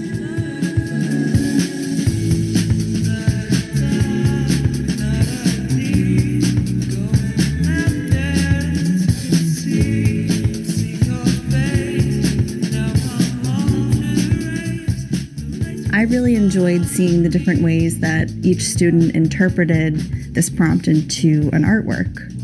From abstract art that used color to describe feeling, to students that drew a map of their house. And you don't give yourself enough credit. Listen to your mom when she tell you don't sweat it, love. When you slow it down, you know what's true. And you don't got a clue what you do spin my feelings round. I'm sitting dry, dry, yeah.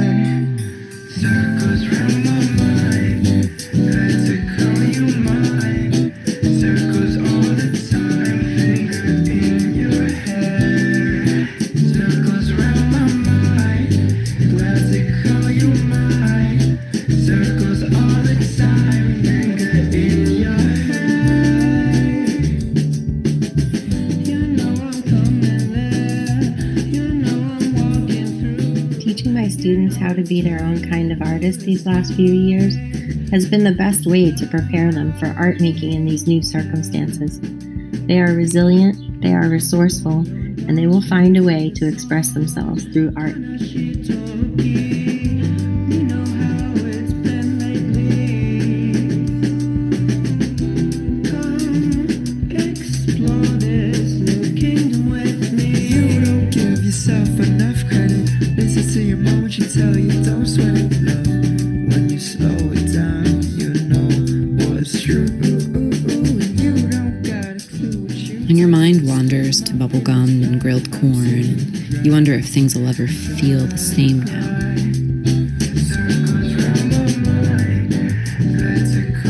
Mine. Circles all the time, finger in your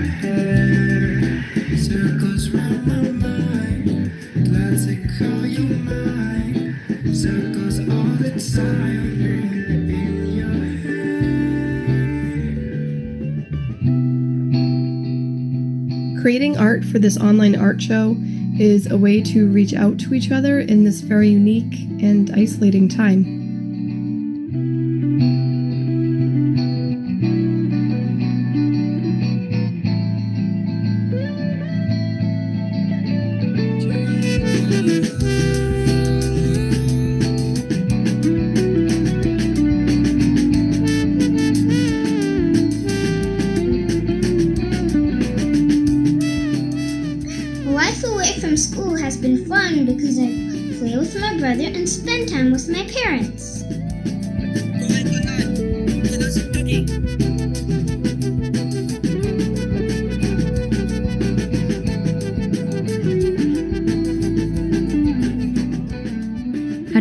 To go to school anymore and learn at school and play at school.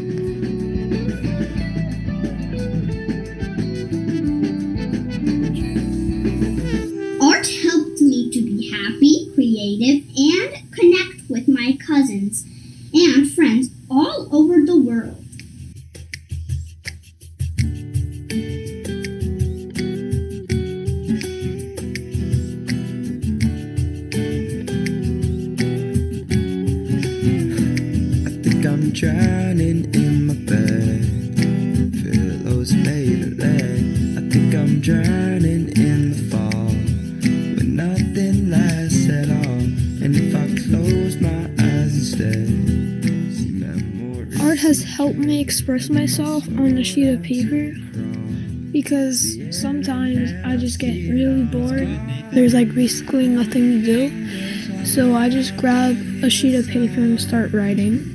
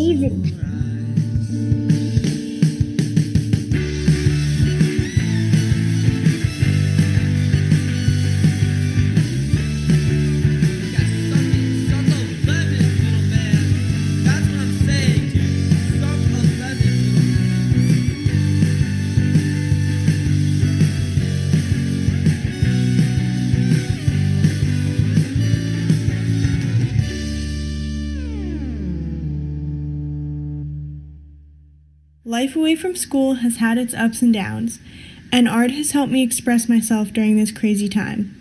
It has also helped me find a fun, calming activity to brighten my day.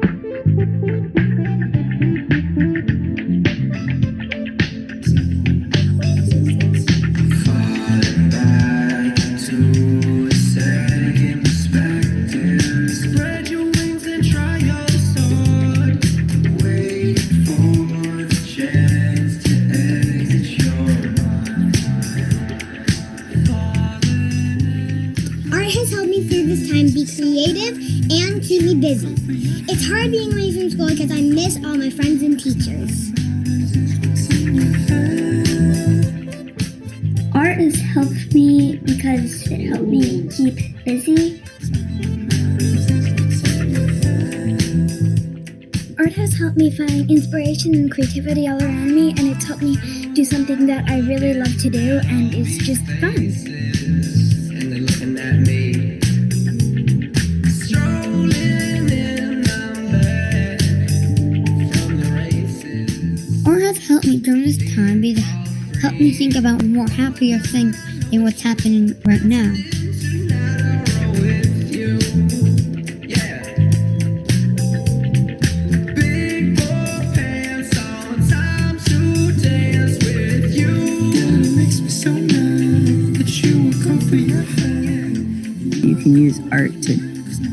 other people happy.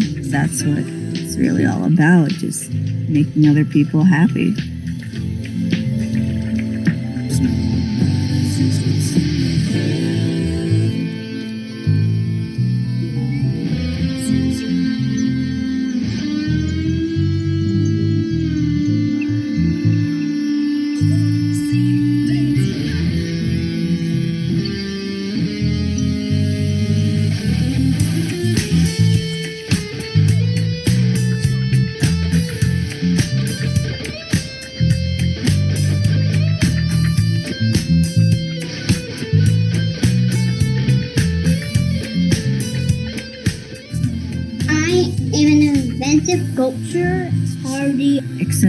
Multimedia, chalk, creative, happy, helpful artist.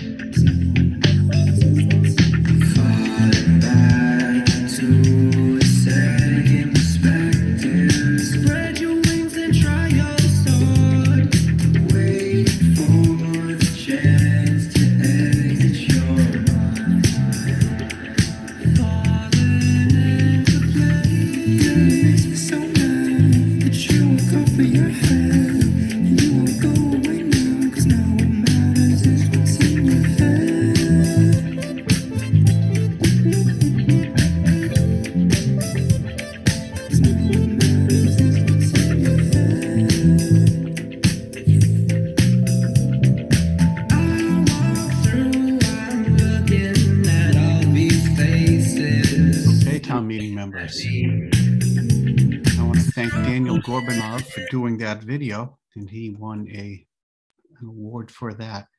He collected all of those from um, Arlington students over the last year, their reflections of life during COVID in the schools. Um, We're just trying to queue up Mr. Schlichtman's PowerPoint presentation, and then we're going to bring up with him as soon as Adam comes back on and gives us the okay that he has that ready to go.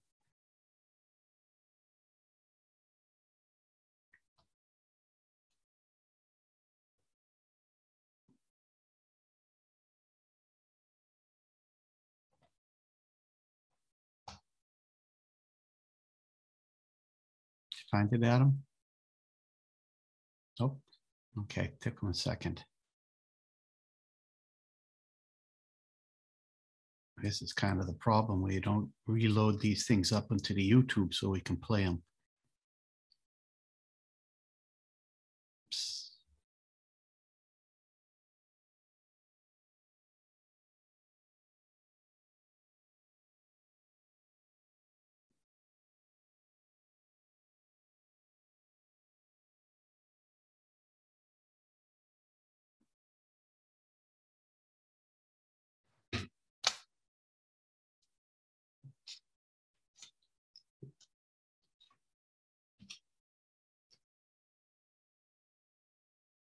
We got a second on Mr. Schlichtman's motion.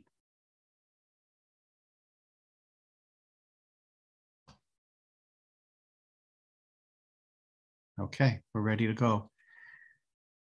Okay, Mr. Schlichtman's motion has been seconded. Okay, is Paul still live with us?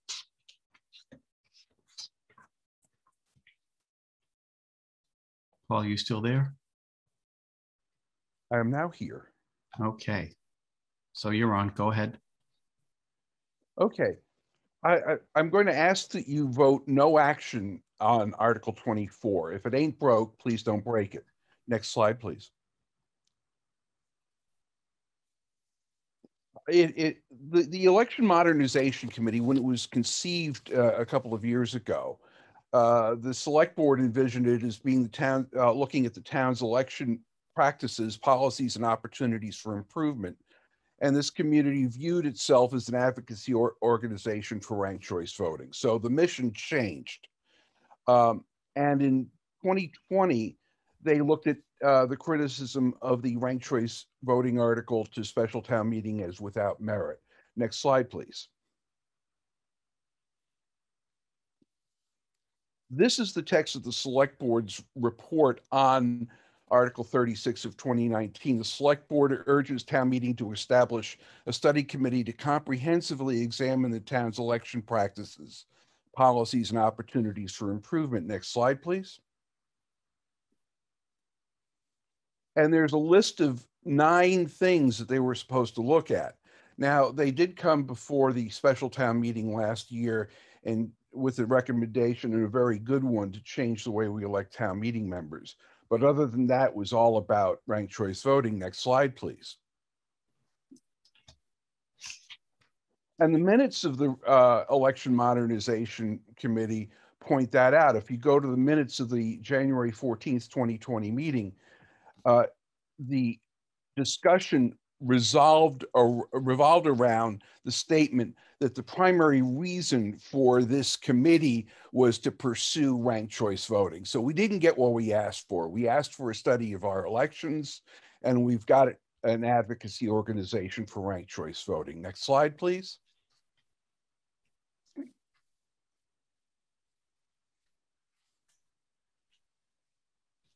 The other thing they were supposed to do was listen to, to the voters, but they didn't do that. In fact, when I presented two uh, amendments to the ranked choice voting uh, proposition last year, they withdrew it and then stated that whatever I was doing was totally without merit. Didn't ask to talk to me, nothing. Next slide, please.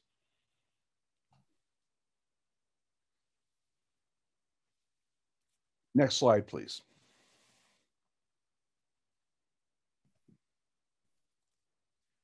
Now, they are telling you that the ranked choice will limit gamesmanship. It does not. All it does is it changes the game. Next slide, please. I run in for school committee in a race where we're electing three candidates. Right now, I'm telling folks, please vote for me but you have three votes. Use your other three votes. Please do, because they all have the same value. And I have built coalitions with the other candidates who are running in this cycle. Bill Hayner and I come from totally different political constituencies. But I keep telling people, yeah, vote for Bill. He's a good guy. He does a lot of work.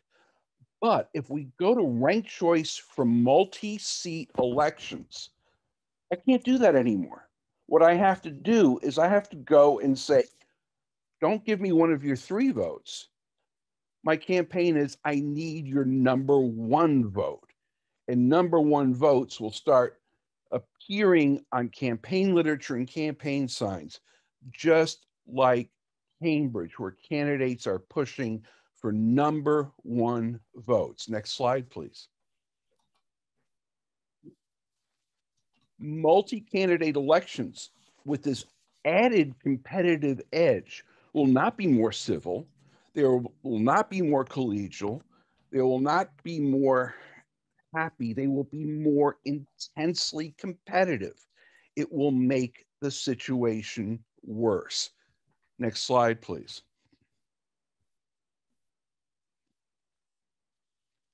Multi-candidate ranked choice voting doesn't just change the way we count ballots. It changes the character of the election and it does it to the detriment of the way we campaign in town. My amendment will remove multi-seat elections from the ranked choice voting proposal before you. I hope you adopt that. But I also hope that even if you do adopt that, you vote this down until we've had an extensive chance for the community to come together and talk about the nine items that we wanted to talk about in terms of uh, reforming our elections and coming back with a comprehensive uh, package that will make elections better if it will work. Next slide, please. Please remove the most detrimental aspect multi-candidate RCV by adopting my amendment and then defeat the article and vote no action. Next slide, please. Look at this language in number uh, in letter E. Look at that language. If you vote no action on the total package, you will defeat this language. Can you explain this to your constituents? Can you explain why you voted for that language? Next slide, please. And would you explain to folks why you would authorize the town clerk to have total authority to make any changes to ranked choice ballots and procedures possible if this is adopted. Next slide, please.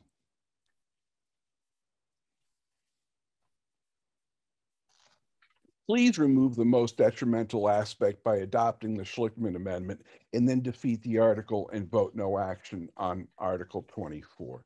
This is the best thing to do for Arlington. Let's have a real discussion of what will make our elections better in Arlington and then move forward for that. Thank you very much. Thank you, Mr. Schlichtman.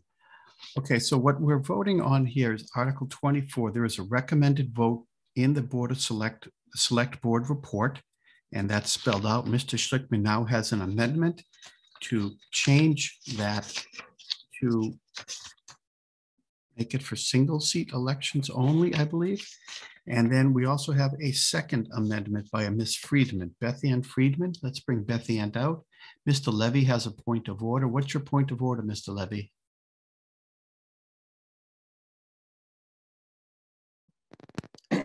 Thank you, Mr. Moderator, uh, Dave Lee, Precinct 18. Can you hear me?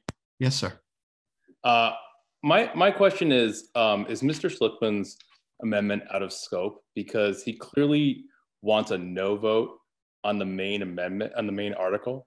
So Well, he's just, his amendment is within the scope of, because he wants to amend the main article, but he's advocating for a no vote on the main article. But whether his amendment passes or doesn't, he's still advocating to vote down the main article. So I'm confused about, therefore, is his amendment out of scope? No, it's not out of scope. And yes, he can make that advocacy for the main article either way, in- regardless of his amendment. Okay, I just hope that for the purpose of making sure that we get out of here before the end of June, that further amendments like this are considered very thoughtfully or whether they're truly in scope or not, if the end result is something fundamentally against the purpose of the main article. That's all. Thank you. Thank you, sir. Ms. Friedman?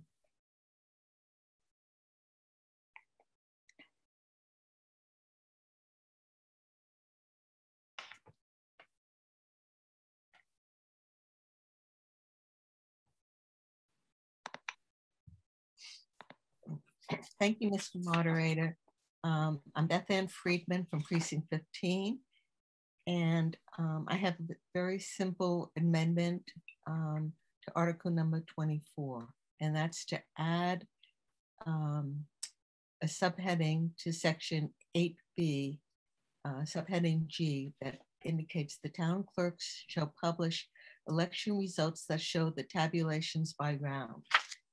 And one of my issues with the ranked choice voting, um, I understand the purpose of it and that it might um, avoid third candidates splitting a vote and um, ending up with a candidate that doesn't have popular majority of popular support. Um, but I think that it's really important that um, whatever uh, calculations are made be really transparent. And um, so by this amendment, uh, when the town, if the town clerk publishes election results that show the tabulation by round, you will actually see how the, um, the determinations of who won the election have been made. So I urge you to, to uh, support this amendment. Okay, do we have a second on Ms. Friedman's amendment?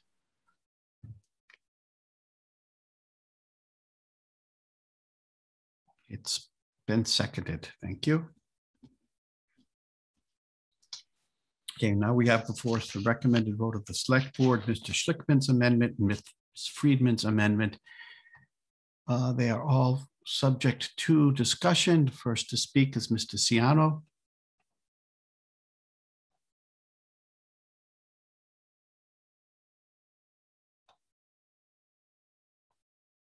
Unmute. Uh, Thank you, Mr. Moderator. Frank Ciano, Precinct 15.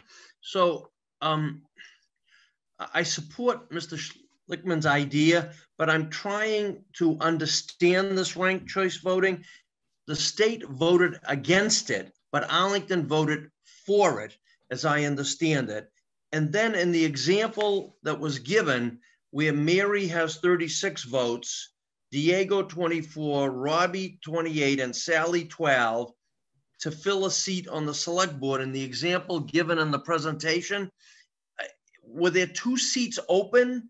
And how does it end up that that in the so the first choice votes, so Mary wins, and then her votes get spread over Diego, Robbie, and Sally. Can somebody explain that to me? I, I had Miss Seuss try and explain it to me back a month ago, and maybe I'm simple, stupid, and slow, but can someone explain it to me, please? Thank you. Um, the gentleman who gave us the presentation, can we bring him back? Yeah, uh, Greg Dennis, Precinct One, Chair of the Election Modernization Committee. Uh, yeah, Mr. Ciano. Um, so the colored page there has the example you're referring to. Yes. And so if you step through, so um, so do you understand how Mary wins with a majority just in that first row? We drop the lowest vote getter and, and people get their vote counted towards their next choice and so on until we're down to two candidates. So how many seats have to be filled in that example? Two on the select board? Well, if we're filling, so in this example, if we're filling one seat, Mary wins that one seat. And that's the filling, end of it. If, if we're filling two seats, Mary wins the first seat. And then we just do this, we do the same tabulation over again, effectively, to fill the second seat. And if we need to fill a third seat, we do the same tabulation over again. So when we start the count for the second seat, if you voted for Mary first and Diego second, that means when we begin to count the second seat, your ballot's going to count initially as a vote for Diego because Mary's already been elected. So your vote, when we start to do the tally for the second seat, will count instantly as a vote for Diego uh, when we begin the tally for the second seat. And, and that's what I don't understand, sir. So, so Mary apparently got 36 first choices. Yep. And Diego got 24 first choices? Correct. I see. So then, because Mary wins, you go to the second choices? Is that what happens? Because Mary wins, we start the counting from the beginning, counting the first choices, but also anybody that voted for Mary has their vote count towards their next choice instead because Mary's already been elected. So Diego has in that first round uh, 16 more votes than he did in for the second seat than he did for the first seat. So you can see from that that 16 of the people that voted for Mary first had voted for Diego second. So when we start counting the second seat, those votes instantly go toward to Diego. Okay, I guess I understand it. Complicated, but I understand it. Uh, I'm not in favor of it, but thank you, sir. Thank you. Thank you, sir. Thank sir. you, Mr. Moderator. Thank you, Mr. Ciano. Uh, Mr. John Worden.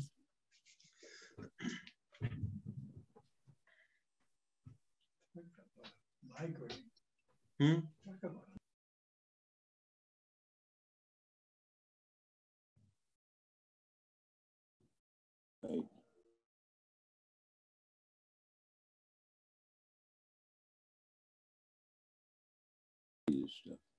There you go, John, you're live. Thank, thank you, Mr. Moderator. Um, I, um, uh, I wish to speak about the same, uh, to the same uh, tenor as my esteemed colleague, Mr. Schlichtman. And that is, if it ain't broke, well, he said, don't break it. I would say, don't fix it. Um, this is a solution in search of a problem. Uh, the um, if let, let, let's just go back and, and think about history for a little bit. If Abraham Lincoln had been, if, if, if, if we'd had national ranked choice voting in 1860, Abraham Lincoln would not have been elected president.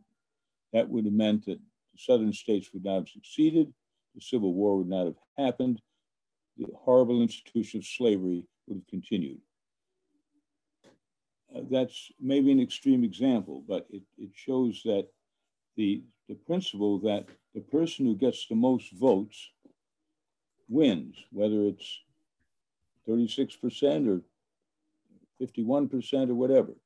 And that principle has, uh, long before the, there was a town of Arlington, long before there was even a state of Massachusetts, since the colony, since as long as the colonies have been here in America, that is the way that our leaders have been chosen.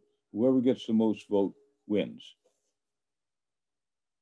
And it, it and it, it could have, in the very example that was uh, used by the proponent, uh, if uh, if the let's say his first uh, his first um, candidate Mary gets 49% of the vote, and Diego gets 25%, and and the next guy uh, Sally or somebody gets gets 26%, um, and all of um, I don't know who, who, Diego's votes all go to Sally. She gets so so so then uh, so so then she wins, and and Mary doesn't.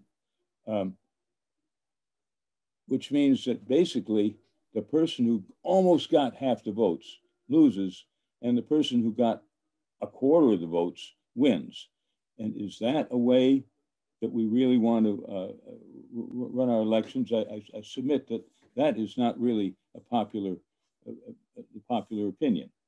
The um, the um, uh, at one of the uh, precinct meetings, uh, which I attended, uh, I asked the, um, I, I, pointed out, as has been cited uh, earlier, uh, the, the city of Cambridge, where they have, they call it proportional representation there. And there they're electing not three select persons or two select persons or three school committee members or whatever. Uh, they're electing a whole bunch, I think uh, perhaps a dozen city councilors. And uh, as, stated, everybody says, give me your number one vote. Uh, and then they take some days and sometimes weeks to figure out, um, uh, well, who, who, who, are the, who are the lucky 12 that are going to get squeak in one way or another. Uh, I, I, I, don't, but the speaker then said, oh, well, don't worry about that.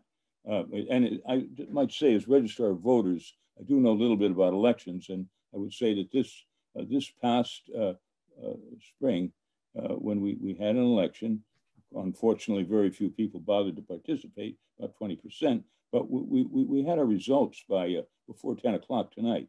And I don't think it's going to be there that way, or at least I pointed out that that's unlikely to happen with this ranked choice business.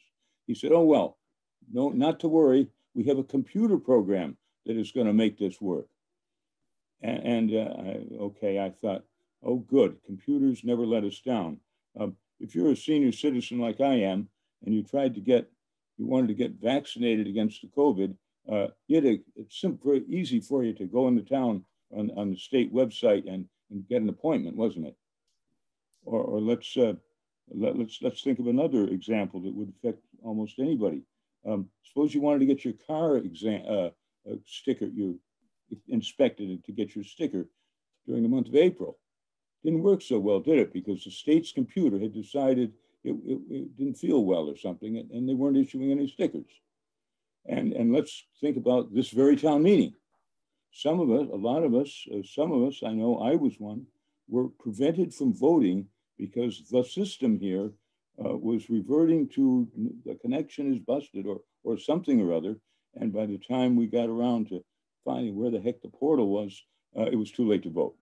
So people were deprived of, of their right to vote because we're relying on a computerized system. So it used to, you know, the Supreme Court of the United States some, some years ago, in a, a decision on, on uh, congressional districts, issued the, the, famous edict, one man, one vote.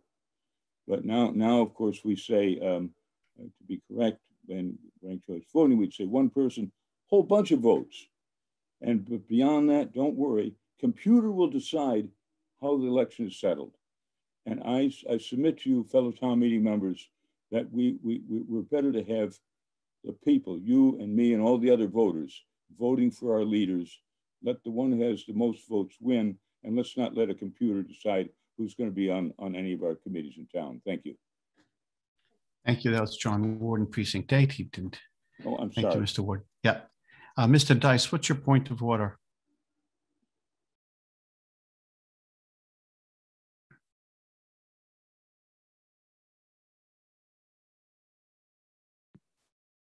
Mr. Moderator, Mr. Dice? Mr. Moderator, can you hear me? Yes, sir. Um, I, I, I would hope that you might be able to keep the discussion within scope a little bit better than it has been. Thank you very much. Thank you. Then again, um, everyone, name and precinct when you first log in. Thank you, Mr. Deist. Uh, David Levy, Levy. Now, I'm not sure I should let him speak, but I'm gonna, because his point of order was kind of an argument before. So David,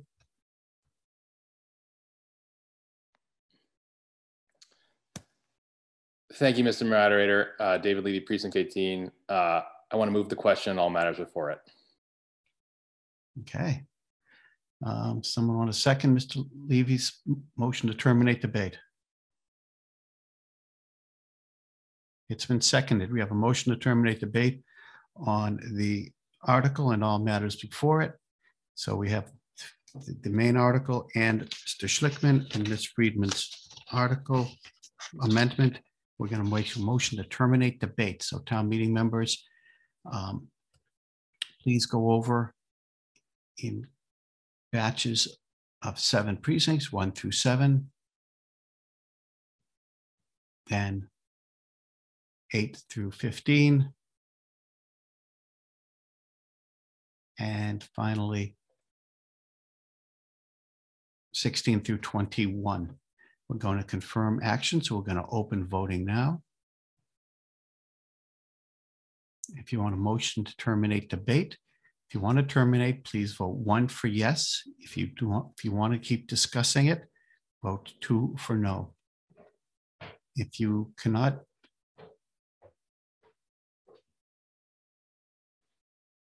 use the portal to cast your vote, please try and chat your vote. So one for yes to terminate debate, two for no to continue discussing it. If you can't use the portal or the chat feature on Zoom, please text your vote to 614 575 9266. 617-575-9266. If the chat, that's the third choice. And if all else fails, please call Ms. Brazil, 781 608. No, wait a second. 781 316 3071. 781 316 3071.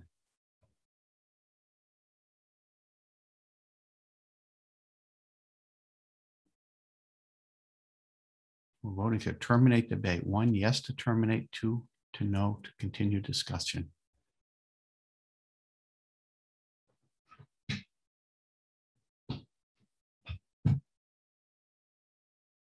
Okay, our voting time is up. We're just going to wait for our chatted and texted votes. So Lauren or Ashley, when you're all set, give me the thumbs up.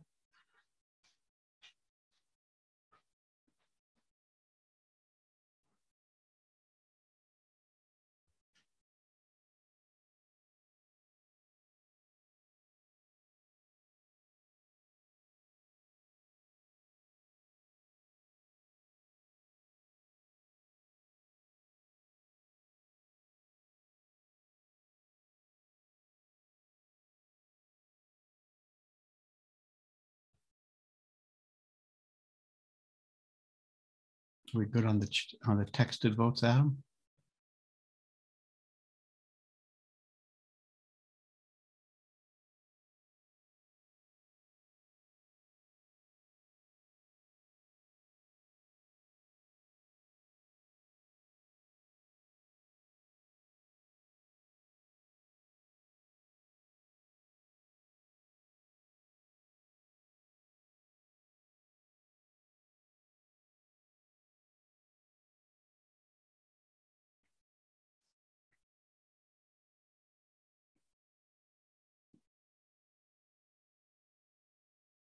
I'm just waiting for my sign from our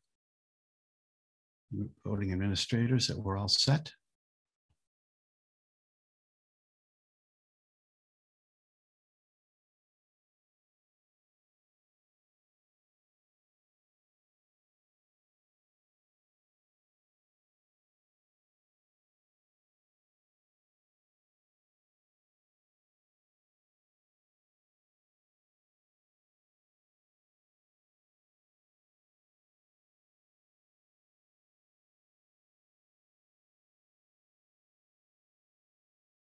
Okay, we're settled on chat on the chatted votes. Adam, you're good on the texted votes? Okay, let's close voting.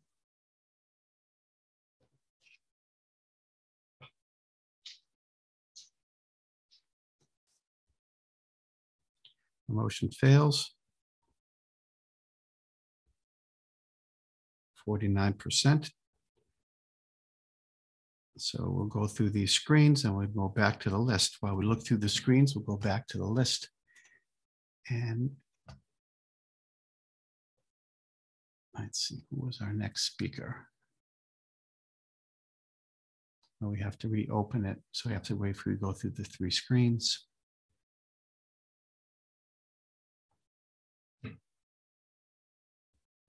So 115 in the positive, 118 in the negative.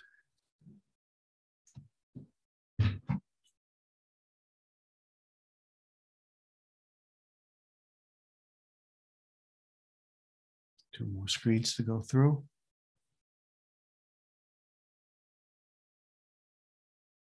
Here we go. Let's bring back up the article.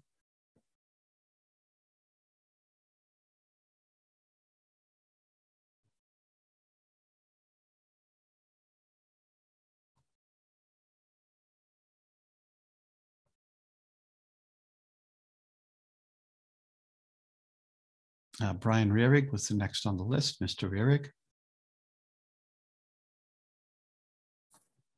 Thank you, Mr. Moderator. Brian Rehrig, Precinct 8. I noticed that the uh, select board's vote on this was not unanimous. Um, I'd be interested in hearing um, the thinking of the minority. Um, Mr. DeCourcey, would you wish to tell us what your thought process was? You don't have to if you don't want to. Certainly. Thank, thank you, Mr. Moderator. Um, yeah, as I said when I presented the select board's recommendation, we were unanimous for single seat RCV. The split was four to one on, on multi-seat. And uh, my issue with the multi-seat, there's several, but one in particular is how the votes are redistributed. And uh, Mr. Ciano raised the question to Mr. Dennis, but in the multi-seat election that is presented and is in the proposed bylaw, uh, when you get to the second choice, the first choice voter, uh, the first place finisher, which is Mary, 26 of her second choice votes are applied, 10 of her third choice votes are applied in choosing a winner. Sally was the fourth place finisher, same thing. The last place finisher and the first place finisher in this example both of their votes were redistributed second choice and in a couple of instances, third choices. Diego and Robbie, who were the second and third place finishers in that second round, none of their second votes were applied. So their first votes were applied to choose Mary as the initial winner. None of their votes, none of their second votes counted. And that's one of the, the criticisms about multi-seat ranked choice voting is you have to redistribute votes. If, in order to get to 50%, you have to keep redistributing votes. And in this example, the first place finisher, 36 votes, 26 second choice and 10 third uh, choice votes went to select the second place finisher. And with a 50% threshold, that keeps happening. Um, I will say that there was a lot of discussion among the election modernization committee about what form of ranked choice voting to use for multiple seats because there are a number of different options because it's difficult in terms of determining how you redistribute.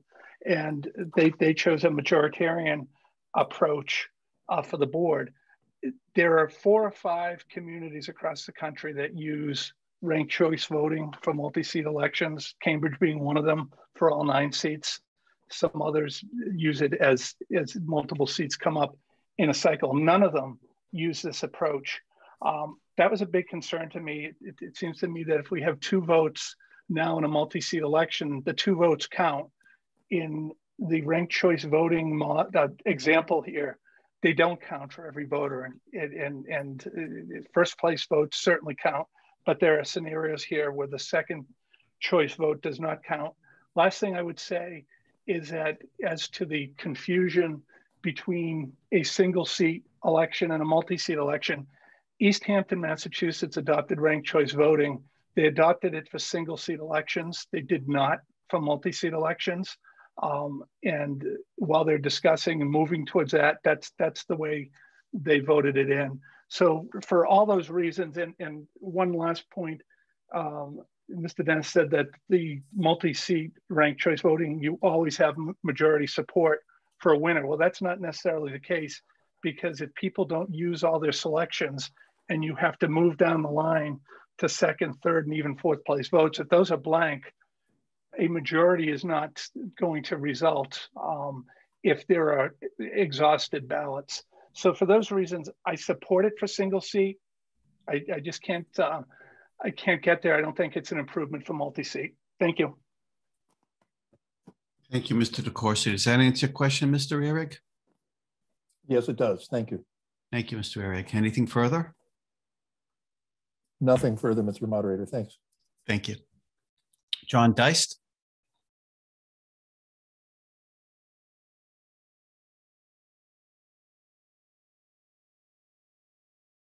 I pass, Mr. Moderator. Thank you, Mr. Deist. But we need to know who you are from now on. Sorry. Yep. Uh, Okay, Chris Hyam, Christopher Hyam.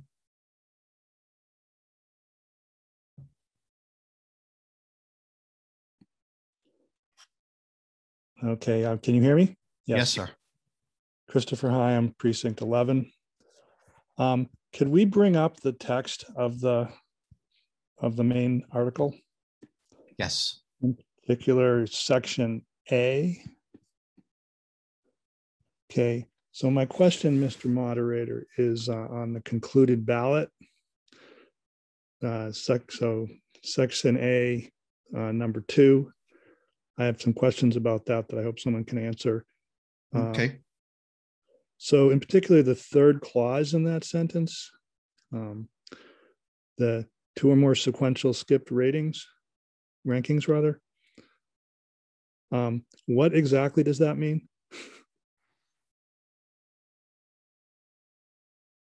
Uh, Mr. Heim, Attorney Heim, can you tell us what that means from a legal point of view?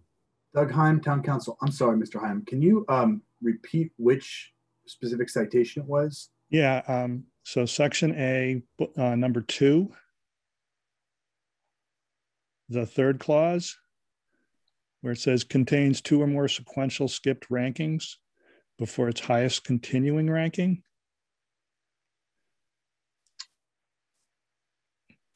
I believe what that's trying to capture, um, and Mr. Dennis is uh, frankly the expert on um, ranked choice voting, but I believe what that's trying to capture is that there may be ballots that don't um, contain a preference for, you know, one, two, three, four, five in a um, in a perfect order, or may have equally prioritized votes in terms of what the highest ranking is, so that you might have someone might have voted for um, candidate A as their first choice, uh, didn't vote for anybody for their second choice, um, and then voted for somebody for their fourth and fifth choice or something of that, uh, basically to that nature, because ballots aren't necessarily going to always be filled out perfectly.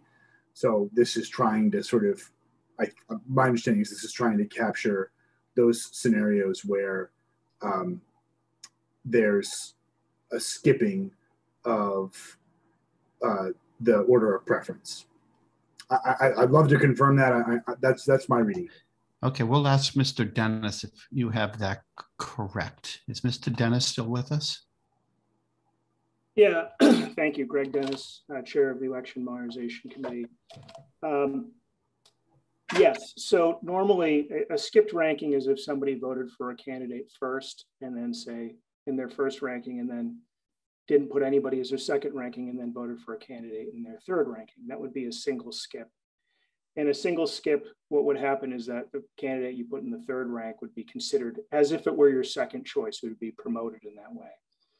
Um, but once you get to multiple skips, it becomes a little bit dubious to do the promotion like that. If you say voted for one candidate first, and then you skipped all the ranks and you voted for, you know, some candidate fourth or fifth or something, um, it would be uh, probably uh, not a clear, a good reflection of the voter's intent to say, well, that was that voter's second choice. So once you skip two or more, we say, okay, after that point, um, the rest of the rankings are as if the, the voter left it blank because we don't want to consider those as if they were the voter's second choice. This is uh, pretty much standard procedure in most jurisdictions around the country. And uh, most of the, the, language in here is you know straight out of model legislation that's been passed in, in various places um, around the country. Thank you, sir. So, so somebody, so so somebody could vote, as you're saying, is someone could cast a first place vote for a single candidate, and then could cast a, you know, could potentially cast say two votes, uh, you know, second place votes for two candidates, and that ballot would be good for the first candidate, but then would be thrown out for the further candidates. Similarly, if they voted for first and then they skipped two more and they went to fourth and fifth, that ballot would be good for the first first choice, but thrown out for the fourth and fifth choice. Um, if they manage to cast it, the, the, voting machine will detect an overvote. If you voted for multiple people in, in, the same rank, it will detect an overvote like it detects overvotes today and spit it back out to you. Spit it back out and you have to go fix it just like it does today if you overvote. Yeah. So another, another question, how many, you say multi, other jurisdictions, how many jurisdictions use this particular, for this particular, uh, you know, algorithm for doing ranked choice in multiple races? Uh, for multi-seat offices? Yeah. It's growing wait, pretty wait, rapidly. Wait. Um, there's, Hold on. Sorry. You got to wait for me to ask you to answer the question. I I'm can't sorry. lose. Con- I can't lose uh, control of the debate. So, Mr. Dennis, go ahead. Sorry about that. Uh, yeah. Greg Dennis, Chair of the Election Modernization Committee. Um, yeah, there are a number of communities that do it. There, one of them is linked to on the, the ArlingtonRankChoice.org website, the website we created for this article, where happens to be a, a, a video from Payson, Utah, that has a. We chose that because it's a particularly good video. This particular form is growing pretty rapidly, and, and I think in the next um, it's not quite as popular as the proportional form like in Cambridge today, but it's uh, getting another number of adoptions this year and, and uh, likely next year to soon overtake the proportional form as the most common way to elect uh, multi-seat offices with ranked choice. Mr. Moderator, is it possible yes, to get an actual like number? I don't, I don't know if he has that. Do you have an actual number of number communities or that uses, Mr. Dennis? Um, There's two cities in Utah. There's some jurisdictions in Virginia that I would need to go look up. Um, and then the adoptions this year um, are mostly in Utah, from cities in Utah that because of some enabling legislation there. Uh, Salt Lake City, um, uh, Moab, I believe. So we're talking 10, 10,000, 50, 500? Um, there's probably uh, there's two definite cities today, and next year there'll probably be like a dozen. Okay. Does that answer your question, Mr. Hahn? Yes. Thank you, Mr. Moderator, for thank you using that out. Um, all right. I see that I'm over time, so I will simply say thank you. Thank you, sir. Uh, Patricia Muldoon.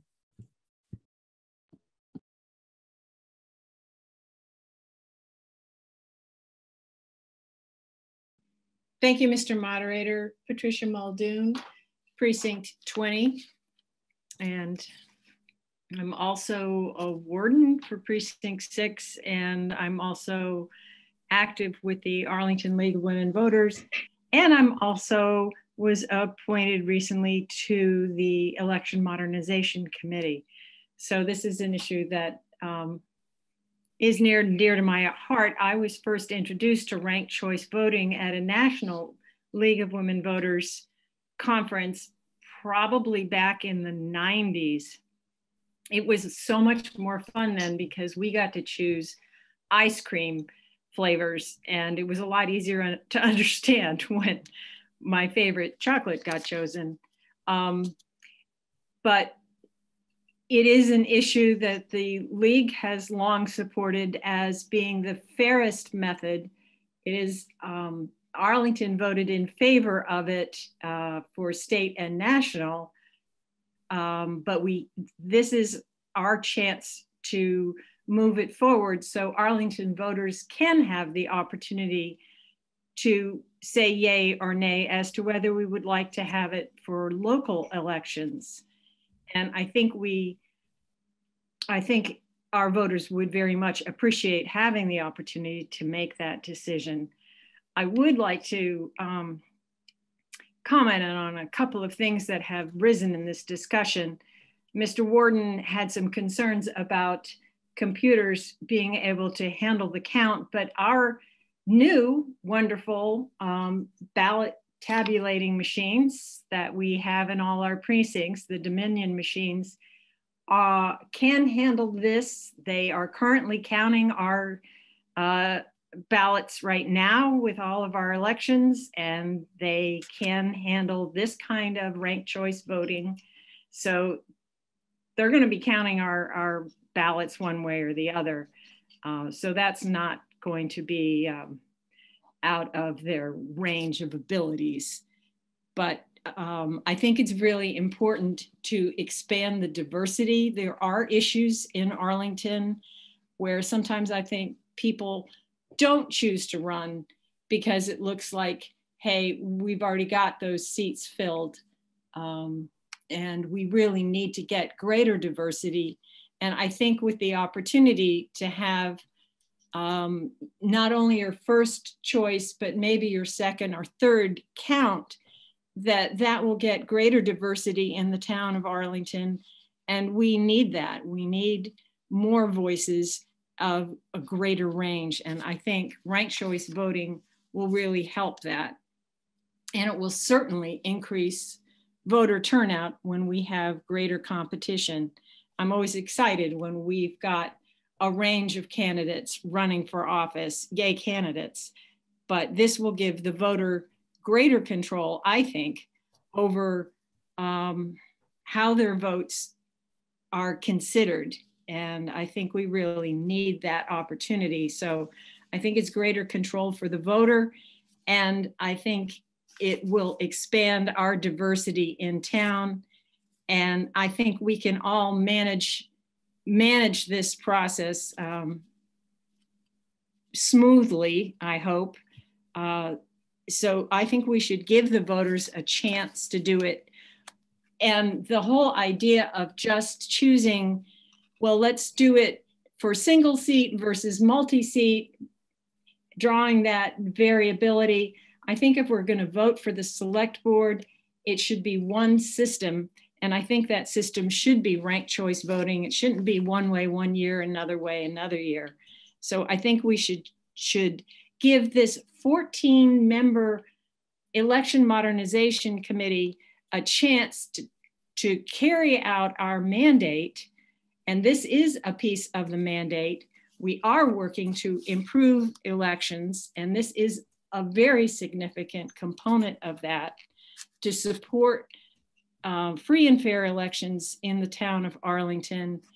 And it's going to be different from what Cambridge does. I hope it will be better, but I think it will be good for the town and for all of us. So I encourage folks to say yes to the original um, the original um, article. Thank you. Thank you, Mr. Moderator. Thank you, Ms. Muldoon.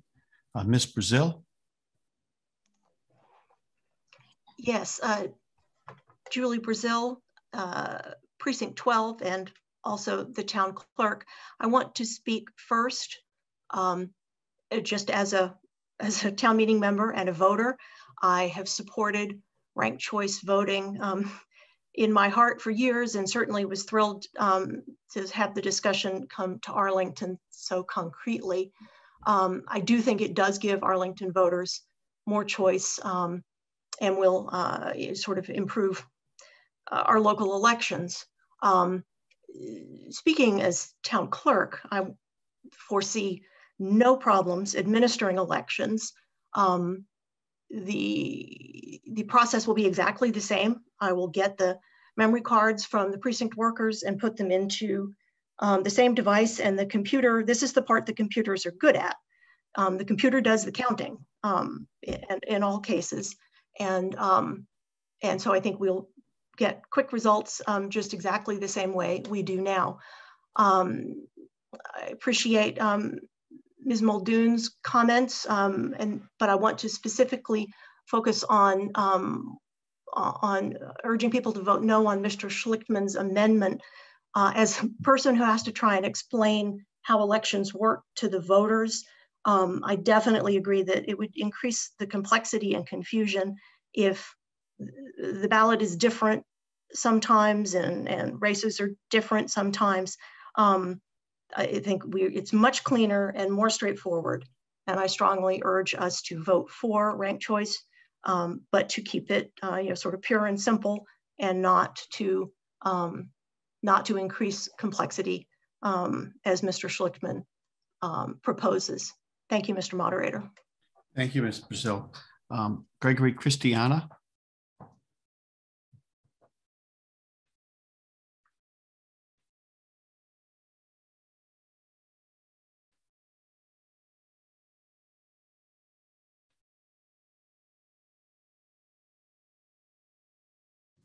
Thank you, Mr. Moderator. Greg Christiana, Precinct 15. Uh, first of all, I don't know how we can possibly know uh, what the second choice votes in the election of 1860 would be, considering that candidates would likely have run pretty different campaigns in the presence of ranked choice voting. I'll, I'll get to why in a moment. Uh, but I want to spend the, the, rest of my time on more practical matters in the present day. Uh, I've studied ranked choice voting or instant runoff voting uh, myself. I'm, I'm, not a member of any advocacy organization that advocates for ranked choice voting in any way.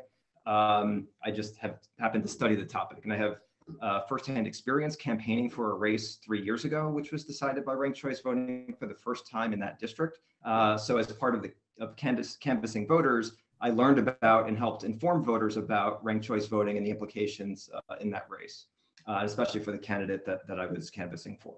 And what I found in my own personal experience and in my research uh, that I've done on this topic uh, is that candidates are more likely uh, to say nicer things uh, about each other with ranked choice voting, specifically because it's not just winner takes all uh, um, on an individual's ballot.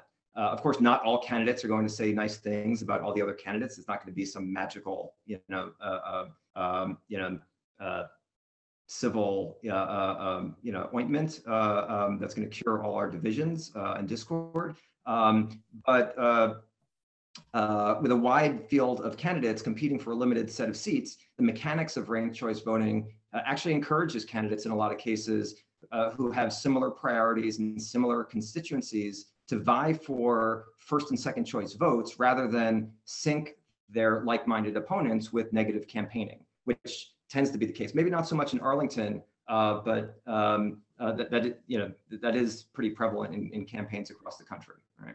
And lastly, I, uh, I, I support Ms. Friedman's amendment as I don't see any technical reasons that would hinder the implementation of that amendment. Uh, but I'd be interested to learn more from the town clerk's office if there are any technical reasons uh, that publishing the tabulations by round would be uh, prohibitively challenging. Um, and that's all I have. Thank you. Thank you, sir. Um, Charles Foskett.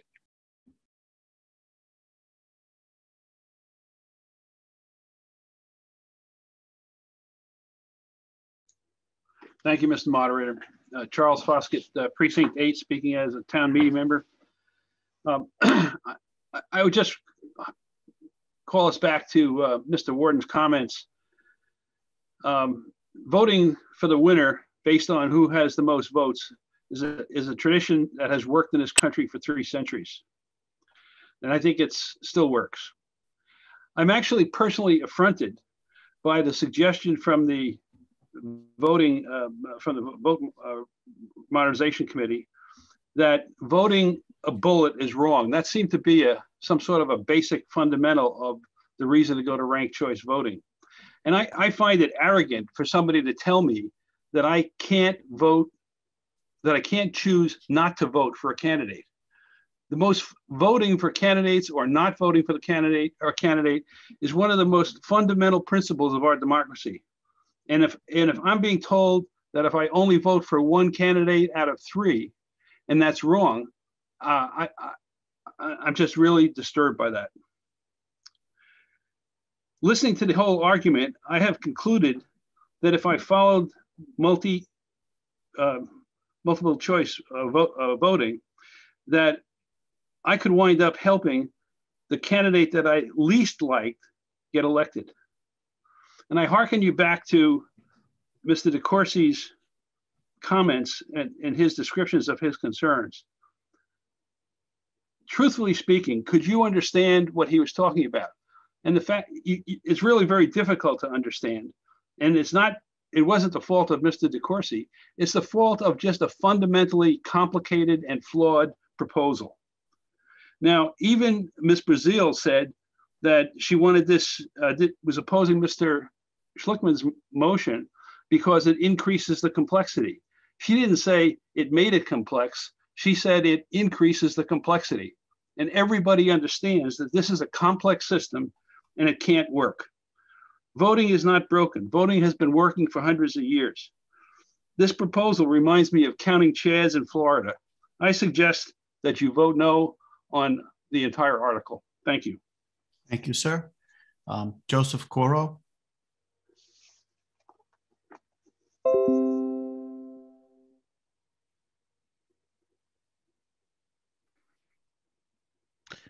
Thank you, Mr. Moderator. Joseph Curro, Precinct 15. I, I, just want to address um, three things. Uh, the first is strategic voting. The second is turnout. And the third is my uh, own experience. Um, first, around strategic voting. Um, I don't think there's anything wrong with uh, with bullet voting, but I think that um, you know people people make their choices for a lot of different reasons, and I think in some cases um, voters might look at the slate of candidates running for, like maybe there are three candidates running for two seats, and they, they may decide that they like one of those candidates more than than the others, but they, they feel very comfortable with with um, the other candidates and would like to have the opportunity to to um, express a preference uh, for uh, each of the candidates in the race. Um, ranked choice voting gives them that opportunity and gives them the opportunity to, to actually rank their preferences. They're not forced to, to do it. There's nothing wrong if they want to um, to, to bullet, but but they are, there also is no uh, particular advantage um, if they bullet. Uh, the second thing I wanted to address was um, turnout, and um, I know that part of the proposal of the Election Modernization Committee uh, suggests that um, you know going to ranked choice voting will uh, boost the number of candidates and boost turnout. I, I think that's still something that that um, would need to uh, play out and need to be proven in in, in practice. I, I, do know that that this past year we, we had some competitive races and the turnout was 19.69 percent. Um, but not not nearly as competitive, I think, uh, across the ballot as um, 2012, which was the year I was elected to uh, school uh, to I'm sorry, the select board, when we had 25.9% uh, turnout. in that year, as some of you may recall, there were five candidates for two seats on the select board, and there were six candidates for two seats on the school committee, and some of the other races across the ballot were also um, uh, competitive. Um, myself and, and uh, Mr. Byrne were elected to select board, and um, it, in that case, um, uh, one of us received 45.92% uh, of the of, of of the voters uh, cast a ballot for for us, um, and in the other case, 37.7%. when you compound that with the low turnout, eh, that was a higher turnout than we typically see. But but um, in reality, um, I was elected with 11, just over 11% of the uh, registered voters in town uh, voting for me, and um, you know, Mr. Byrne was was close. It seems to me that that that the benefits of this system is that by allowing the ranked choice voting, you're you're electing candidates who are the most palatable to the most people who are, are voting.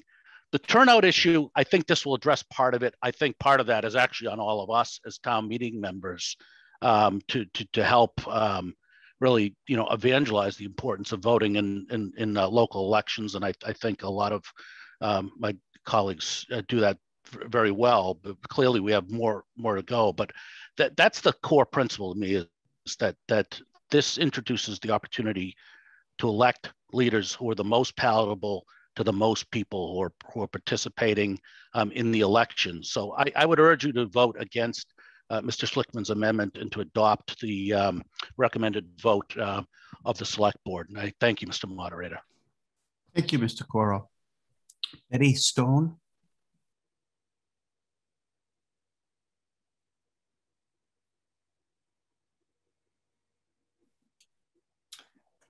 Betty, excuse me, Betty Stone, precinct seven. Um, uh, I'm trying to distill my comments so as not to repeat things that other people have said. Um, I am very much in favor of the um, original Article 24 for ranked in favor of ranked choice voting, and I'm against Mr. Schlichtman's amendment to exclude multi-seat elections. Um, the reason for that is that um, in particular, um, ranked choice voting for only single seat races would lead to, um, and I believe that um, Mr. Dennis mentioned this in his original, in his um, initial presentation, but I want to emphasize that it would result in inconsistent elections. Uh, because, for example, in some of the um, more competitive and higher stake um, um, races, such as the select board, in some years, if there were two vacancies, then it would be not ranked choice. And in other years, if there was only one open, uh, one opening, it would be ranked choice. And I, I find that the inconsistency goes against, um, is very confusing and goes against the way the way a race should be presented. Um, I, I want to emphasize that um, the proposal for multi-seat elections is a straightforward application of the exact same single seat method, simply reapplied once for each seat to be filled. It's based on the same rationale and carries the same benefits um, as single seat races. From the voter's perspective, the voting process is identical for single or multiple seat elections. And I believe, um, if I'm not, I, I believe that there is a built in um, lag of a year from, uh, if this were to pass, from accepting it this as a, as a policy and actually um, implementing it precisely to allow for education of people so that they know how to vote. It's, a, it's, not, it's not a complicated thing. Um, and we have voting machines that have software and the capability to, to do the tabulations on the same time schedule. We'll have the, the results at the same time as they normally would come out eh, with no additional expense.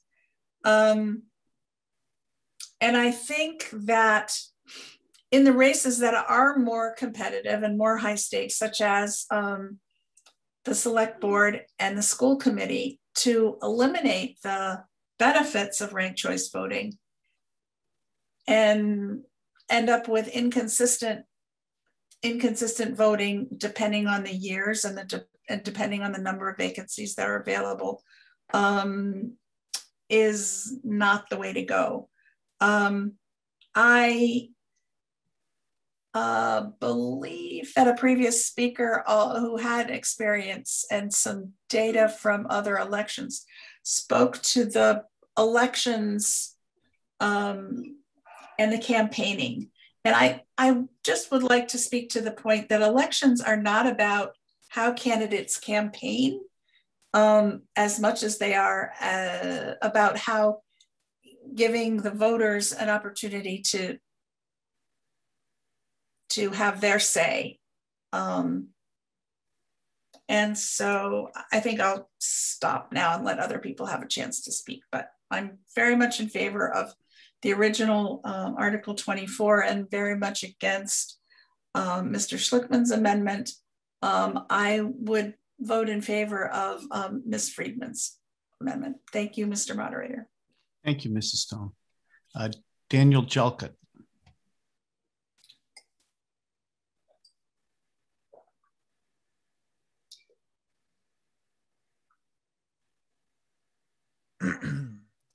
Hello, can you hear me? Yes, sir. Thank you, Daniel Jalcutt, Precinct 6. Um,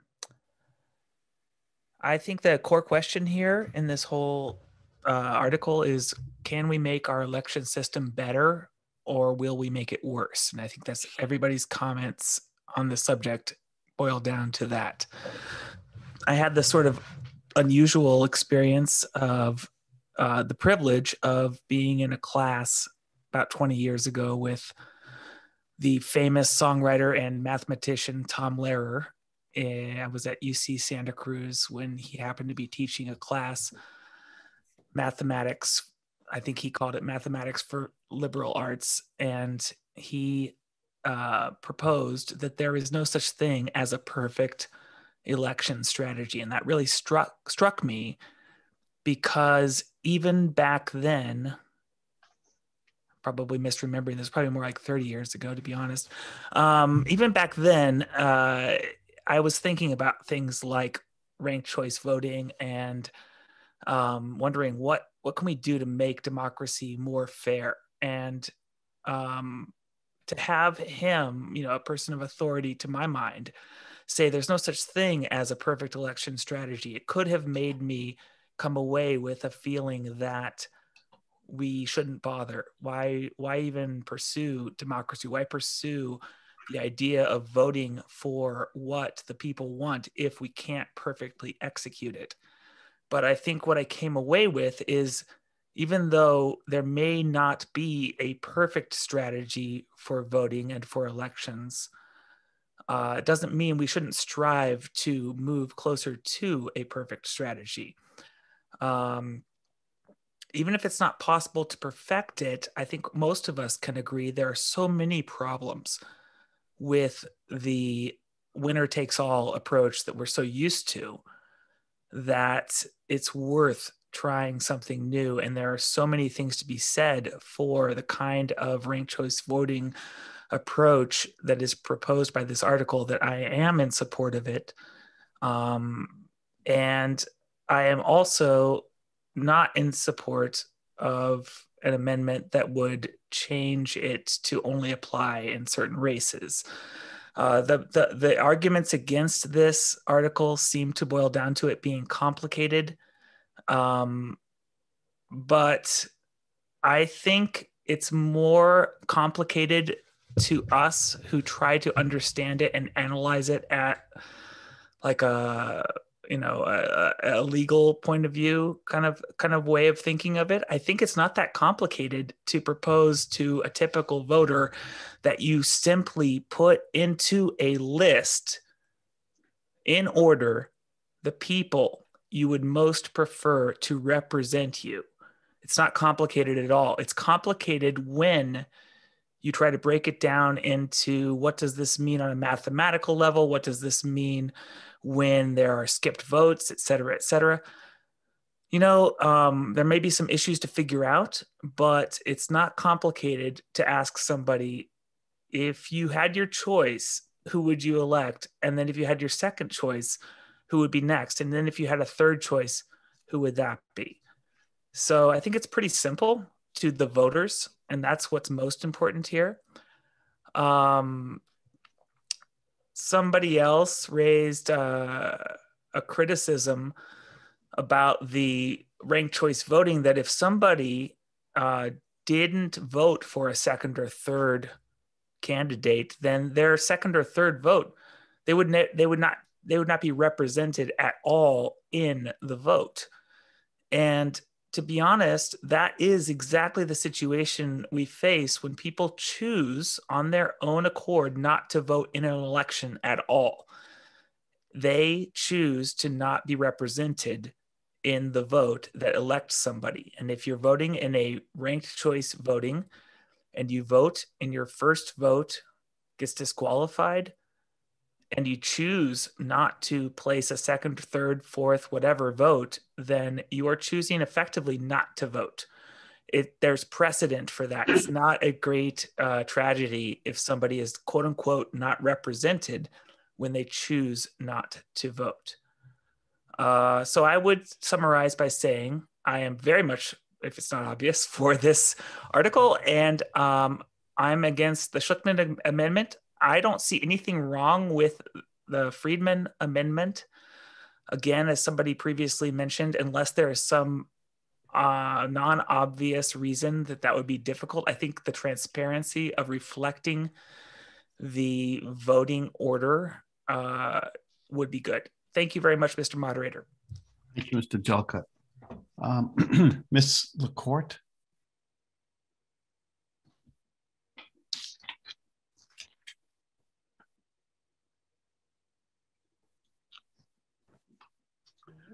Annie LaCourte, Precinct 15. If you can't hear me, tell me now. Um, I would like to uh, make a couple of points here.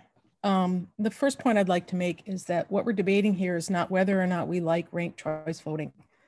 What we're debating here is whether or not to put ranked choice voting on a ballot and allow the voters of Arlington to choose whether or not they would like to implement this method of voting so that all of the people who are arguing against ranked choice voting here are arguing against the article itself, and they will have an opportunity to vote in an election on whether or not they want to implement ranked choice voting when we put it on the ballot for the rest of the town to vote on as well.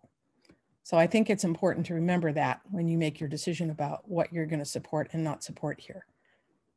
Um, I think Mr. Schlichtman's argument about com competition in elections, his suggestion that elections would be somehow more competitive and people would be jockeying more, actually is uh, an argument in favor of ranked choice voting, because I think ranked choice voting, if it makes more, brings more candidates into the races, simply says that more people are going to take a bite at the apple and more people are going to get excited about campaigns and more people are going to vote and voting is addictive. Once you've done it once, you want to, to do it again.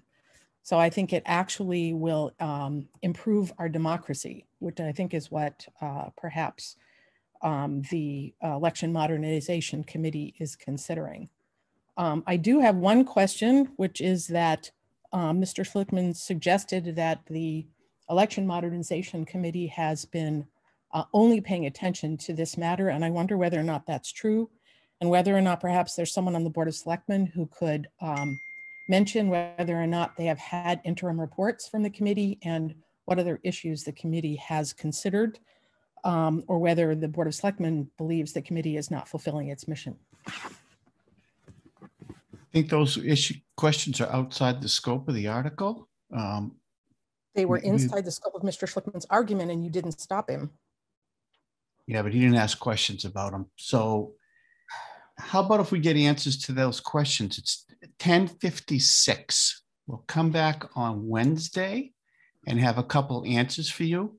Do you have anything else you wish to discuss? You want us to hold you open or do you want to finish off now and have us give you answers Wednesday? Um, well, I, I would suggest that regardless of those answers, which I would like to have simply because I believe that uh, the committee has been slandered, um, regardless of those answers, I support us putting ranked choice voting on the ballot and allowing the voters of Arlington to decide whether or not they would like to implement this method of voting. I also support Ms. Friedman's amendment because I think being totally transparent about the calculations is a good idea. I urge you not to vote for Mr. Schlichtman's amendment, which I believe guts the purpose of the article entirely. Thank you, Mr. Moderator. Thank you. Okay, it's ten fifty-seven. We're going to preserve the speaker list. If anyone has a motion for reconsideration on the one article that we passed tonight, um, please use the raised hand feature in Zoom right now. and give us your notice of reconsideration. And otherwise, I would take a motion to adjourn till Monday. Uh, we passed one article. Okay, we have a motion to adjourn. We have a second? Second, Second, second, second. If anyone objects to adjourn, please use the raise hand feature. Also use the raise hand feature if you want to file a notice of reconsideration. So at this rate, um, passing one article a night, we'll be here for another 30 nights. That's just something for us to consider between now and Wednesday. Okay, we'll see you all Wednesday night. Thank you and good night all.